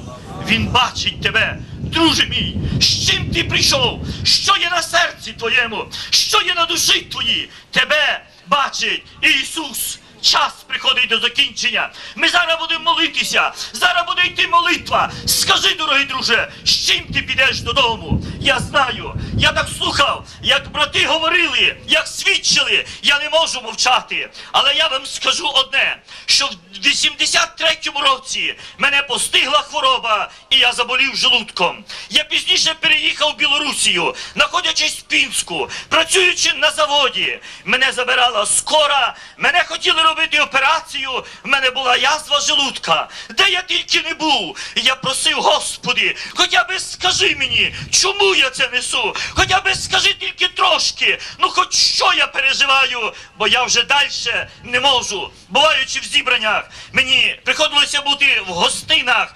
Пізніше після зібрання не їсти, обідиться господиня, поїсти. Я три дні, троє суток саме менше. Я вимучуся. Що мені робити? Я плакав, їв, а потім, приходячи додому, я ще гірше плакав, і вихода я не бачив. Але одного разу я пам'ятаю, прийшов до мене один брат і каже: мені одне питання: скажи, за кого вмирав Христос? Я кажу за всіх людей, хто до нього тільки навернеться. А що він взяв на себе? Я глянув на нього і кажу, Вітя, ну як що взяв? Взяв немочі, взяв хвороби, взяв гріхи й беззаконня, а він каже, хай благословить тебе Бог. Я думав, ти тільки скажеш одні гріхи, і він знав мою хворобу. І він сів в автомобіль і поїхав. Три місяці я гортав сторінки Біблії від початку до кінця, і я шукав. Одні кажуть, така воля Божа, другі кажуть ще іначе. Але я знайшов, що іскупитель мій є живий, і він каже, я лікар твій. Алілуя! Слава йому! Він бачив моє страдання. Дружина спала. У мене було троє діточок. Вони спали, а я схилив коліна там в своїй е, кухні і сказав Ісус: Я дякую тобі, що ти взяв мій хворий желудок, а мені даєш взамін здоровий. Алілуя! Він взяв твої немочі, він взяв твої проблеми. Алілуя, амінь. Але, любі друзі, я хотів би сказати одне: він не візьме насильно твої проблеми. Він чекає, коли ти відкриєш серце своє, коли ти відкриєш душу твою, коли ти своїми проблемами прийдеш до нього і скажеш, Ісус, я тобі даю мої проблеми. А він скаже, я їх беру на себе. Слава йому! Мені одного разу приходилося чути свідчення одного брата, який казав. Whoa! Прийшов момент, коли він каже, я багато їздив, до мене приїжджали люди, ми звершали молитви. І одного разу діти кажуть: скажи, тату, ти все живеш для других. А коли ти для нас будеш давати якийсь час, то в тебе гості, то в тебе молитві, то ти в роз'їздах, і ми практично не можемо поспілкуватись з тобою. І він каже: Добре, діточки, я спланую своє життя настільки, щоб дати трошки уваги для вас більше. І ось каже, вечором я помолившись і ліг спати. Але вночі я каже, получив відкриття від Господа. Бог проговорив до мене і каже: добре, тепер. Ти будеш піклуватися про своїх дітей сам. Коли ти їздив, я турбувався про них, я проблеми твої рішав, я їх захищав, оберігав. А тепер ти будеш давати їм здоров'я, ти будеш оберігати від автомобільних катастроф. І там Бог почав перечисляти ці проблеми, з якими він звертався в свій, своє життя до Господа. Він каже, серед ночі я піднявся, упав на коліна, залився сльозами і сказав, Боже, прости, я не понесу цих проблем. Друже мій, ти не понесеш цих проблем. Я не пронесу. Але на тому місці є той, чиї руки пробиті, де закарбоване твоє ім'я. Він понесе твої проблеми. Я читав записки, плаче мама, діти гинуть в алкоголі. І каже, чоловік пропадає, не виходить із алкоголя. Помоліться, помоліться і помоліться. Друже мій, скільки ти можеш стояти на колінах в молитві? П'ять хвилин, десять хвилин, півгодини. Але я знаю одне, що коли Ізраїль виходив з Єгипта, то він став столкнувся з однією великою проблемою. Коли вони дійшли до моря, ви знаєте, коли люди йдуть, вони не звертають по боках, вони мають ціль, і вони йдуть до цієї цілі. Вони йдуть в обітовану землю, але упереді море, і хтось один, я так уявляю собі, оглянувся назад і каже: дивіться, єгиптяни нас доганяють. Це все, це смерть, це безвиходне положення, це тупік, з якого ми не маємо виходу. А Бог говорить до Мойсея, чого ти вопієш до мене? Що в руці твоїй? Жезл, простягай його на море. Алілуя, амінь. Друже мій, що ти можеш простягнути, щоб розв'язалась проблема твоя? Можливо, ти не маєш жезла, можливо, ти не маєш помічника, можливо, ти не маєш кому би ти міг розкрити своє серце і свою душу. Але сьогодні для тебе є відкрите небо, для тебе є Дух Святий, утішитель, помічник, ходатай, який рядом з тобою. Алілуя, амінь. Слава йому! Друзі оставляй. Проблеми будуть, але їх буде розв'язувати Господь. Коли ти будеш давати місце Духу Святому в своєму серці, хвала вічному Богові. Я пам'ятаю ще один випадок з мого життя, коли я знаходився в Забайкаллі, служав армії, і в 78-му році, в лютому місяці, почалася війна, Китай пішов на В'єтнам. В наше положення було дуже трудне, а особливо моє. Хто на що надіявся? А я, не прийнявши оружія, не прийнявши присяги, я розумів, що чекає мене і таких людей, як я. Серед ночі, ви уявіть, що в такому стані люди живуть в такому переживанні. Серед ночі зайшов начальник штаба, припоясаний у польовій формі, при оружії. До цього ніхто його не бачив. Тихенько, нікого не будити. Підняв шоферів і забрав їх. І поїхали получати противогази, тому що китайці травили все газами, і після них нічого не оставалося. Я спати не міг. Я тільки одне плакав. І ви знаєте, я плакав і шукав місця, куди би зійти, куди би відійти від людей, щоби з'єднатися з Господом. За що просити? Що просити? Я не знаю, що принесе сьогоднішній день, але я ставав на коліна, вибирав, я пам'ятаю той камінь. Він перед моїми очима стоїть. Він більший трошки, як оцей молитовний будинок. Отам біля того камня ми декілька душ збиралися, уходячи далеко в тайгу, і ми там молилися, але ми давали місце. Духу Святому. І ви знаєте, коли навіть приходив момент, то Дух Святий наповняв наше серце. Ми вставали біля того каменя і виходили назад, приходили в частину. Ми знали, що є перемога, є защита і є охорона Господь. Алілуя! Я пам'ятаю, це було по времені. Різниця була 6 годин між нашим часом і там в Забайкаллі. Коли в Ківерцях йшли зібрання, я чотири рази я був на тих зібраннях. Тілом, знаходячись там, але я бачив це служіння, я чув проповіді, я чув молитві, я чув спів, я чув декламацію. Отак Бог укріпляє народ свій Духом Святим. Алілуя, амінь. Друже мій, сьогодні стоїть одне питання. В тебе є вдома проблеми, в тебе є різні питання про оздоровлення, про спасіння. Але є одна проблема. Якщо ти її не рішиш, то не рішаться твої проблеми. Ти повинний дати місце Духу Святому. Алілуя, амінь. Бог жалкується на народ свій і каже, що духа його оскорбили. У другому місці каже, духа його пренебрегли і не вічно духом моєму бить, пренебрегаємими чоловіками. Сьогодні це собрання, воно не є маловажне. Тебе привів Дух Святий. Алілуя, амінь. Ти послухав, ти пережив присутність Божу. Але з чим ти підеш? Ах, Ємануїл, вічний Бог, тобі потрібне помазання від Господа. Тобі потрібна сила благодаті Божої. Тобі потрібно перемінити життя твоє. Хто його перемінить? Господь Духом Святим. Алілуя! Алілуя! Слава йому! Ви знаєте, я не знаю, але чому то сьогодні я хотів би нагадати ще одне. Коли я був малим хлопцем, що четверо е, браті, троє братів і одна сестра, вони померли маленькими. Я другим був, який остався в живих. Але я був дуже хворий. Мені стояло тільки чуть вийти на вулицю. Я кашляв, мене хватали бронхи, мене боліли вуха, мене боліла голова. Я не міг нормально ходити, як другі діти. І так я ріс. Але прийшов час, коли я став.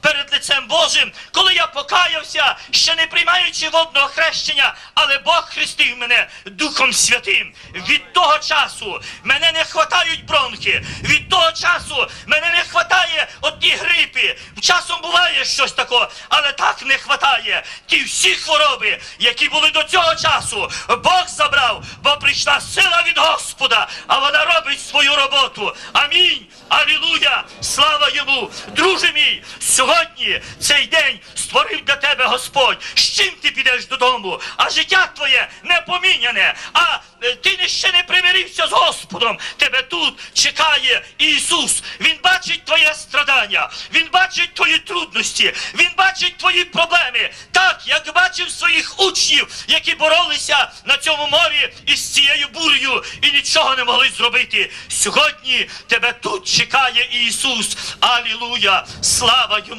Хвала йому! Ти чекаєш оздоровлення, і тебе чекає тут Ісус. Алілуя! Амінь. Відкривай своє серце, відкривай свою душу, бо немає мира там, немає радості, немає спокою. Амінь. Ава Отче. Твої очі, вони так настільки розширились, каже Дух Святий, що ти не бачиш уже Слова Божого. Ти бачиш, де дешевше купити, де дорогше продати. Ах, Ємануїл, Господь сьогодні направляє свої руки, свої очі, своє серце до тебе. Амінь. Тайна совята неба, Дух Святий. Skaminerowo wyryszenie rabadora fraudesz. Ібо так говорить Господь. Многим кламу спрувішення главургету фрадеш. Ибо я вижу многие души, которые не делают того, что я хочу. Аллансу бругита флауже граймен гота фрауде. Слово мое в пренебрежении и внимание к Духу Святому не обращают. Ожесточенное сердце рамон гута флауре ясных ламент. Ожесточаются сердцем своим и ищут того, что выгодно в мире. Но вскоре кламон ту флаужин фрайнес. Но сегодня я собрал для тебя народ для того, чтобы сказать, что вскоре это со многими прекратится. Я пройду кламан фруиша банамедела сапроиде глайсай врейжес. И тех, кто будет призывать имя мое, то я пройду по их домах и семьях и сделаю великую перестановку. Потому что я слышу стоны и вижу стенания и молитвы за тех, кто отступил от меня. Форма и обрядность вижу великую. Дух религиозности вошел в многие сердца. Но не мен супрамонера шабарахутере шасайнеш. Но как мало я вижу тех, кто отдают внутренность свою для меня, говорит Господь. И ушли кем праминера хахотара минеузенс. И ушли в сторону, не внимая голосу Духа Святого. Но зачем лаву шабанара висание глауса правды гетеш? Но говорю тебе ныне, зачем тебе ходить сторонами? Ламинеру витарахутара батайнеш. Зачем тебе мутные воды Египта? Зачем у канлорису битара хатара файнеш? Зачем питаться тебе этими рожками? Но есть клама фрижа бедара вечение. Когда есть для тебя лучший удел, и этот удел в Духе Святом. Но от кам пройде гетара холешанес. Но говорю тебе ныне, если доверишься мне на этом месте, То сделай крабидеру вишам плаудере гласара баудеш. то я сделаю силою своей великую перемену во внутренности твоей. И скажешь, жив Бог, кроме фриша намазуш. И не будешь жить воспоминаниями, но скажешь, жив мой Бог, который творит чудеса ны- ныне. И этот день кламоду ребешавала сарабиделе крафаужес. И этот день для многих останется памятным. Так говорит Господь. Аминь. Аминь. Аллилуйя. Аллилуйя. І нині Бог повеліває всім і повсюду покаятись. Чи ти є членом церкви, чи ти не є членом церкви, чи ти вступив заповідь з Богом, чи не вступив, але Бог до тебе каже, покайся. Скарабалаудис. Алілуя. Приготов свої речі для переселення. Тебе чекає небо. Тебе чекає Господь. Алілуя, амінь. Гава Отче, друже мій, сьогодні йди до Ісуса. Господь бачить твої проблеми. Господь бачить твоє серце. Господь бачить, що їх сьогодні треба рішити тут. Алілуя, амінь. Не чекай закінчення цього зібрання. Ще будуть молитви. Ще будуть молитви за проблеми, але вже твої проблеми починає розв'язувати Господь. Алілуя! Я би просив тих, хто хоче примиритись з Богом, відчути водіння Духа Святого.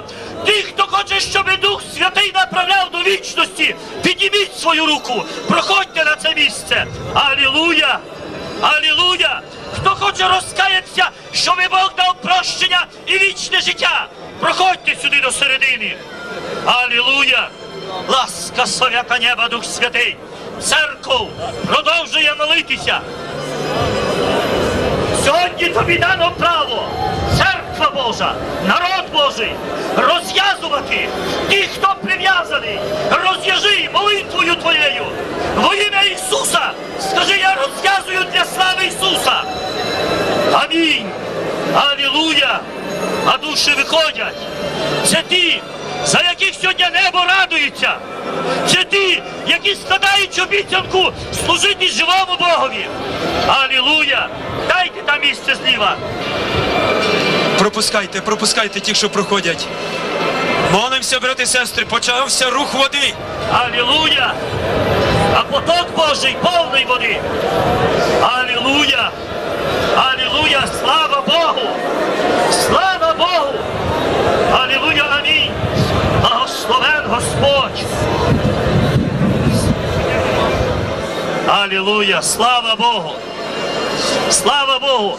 Там взаді ще є душі, які не примирились з Господом. Вас чекає Ісус. Твої проблеми ніхто не розв'яже. Сьогодні твої проблеми буде розв'язувати Ісус. Іди до нього. Він тебе чекає. Алілуя!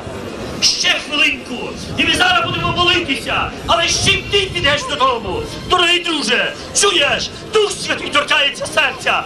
Де ти? Молодий юначе, іди до Ісуса. А отче, тебе кличе Господь. Піднімись свою руку, тобі дадуть дорогу. Алілуя! Алілуя! Алілуя! Слава Ісусу! Молимося, брати і сестри, молимося. Воюємо за спасіння людей. Хай Дух Святий дає сьогодні перемогу. Сатана не хоче пустити, але церква Ісуса Христа. Вона відвоює людей для Царства Божого. Алілуя! Алілуя! Виходять душі керва на вілічення. Алілуя! Сестри, брати, Дух Святий продовжує працю. Він шукає, ідуть люди, ідуть. Хай не змукає молитва. Приходить перемога. Господь вириває. Алілуя, капотять сльози, покаяння, мир небесний приходить в душу. П'ятидесятниця продовжується. А володше. А сьогодні на небі встали хори ангелів. Ісус піднявся на престолі. Він свої руки показав Отцю. Дивись, отчине. Це рани за них. Проходьте ближче, проходьте, проходьте. Алілуя. Молимося, молимося, йде молитва. Благословено ім'я Господа. Раміни Геодис. Алілуя, амінь. Ми будемо молитися за тих, які вийшли. Ті, що вийшли до покаяння. Я прошу, підніміть свою руку. І за вас буде молитися церква. За вас буде молитися. А?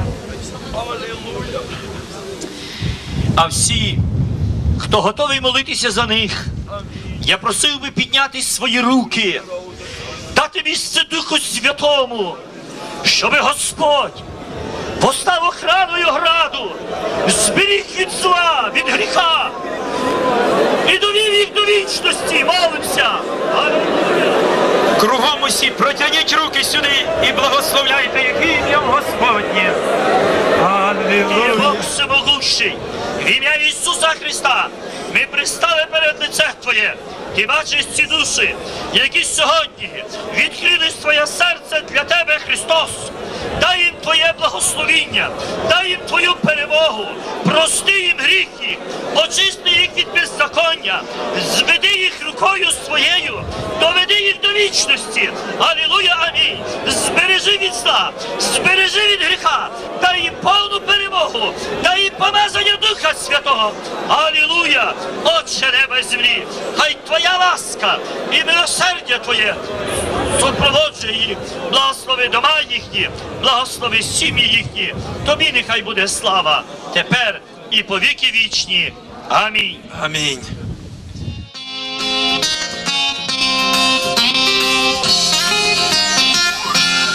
Мой Господь сегодня понял я,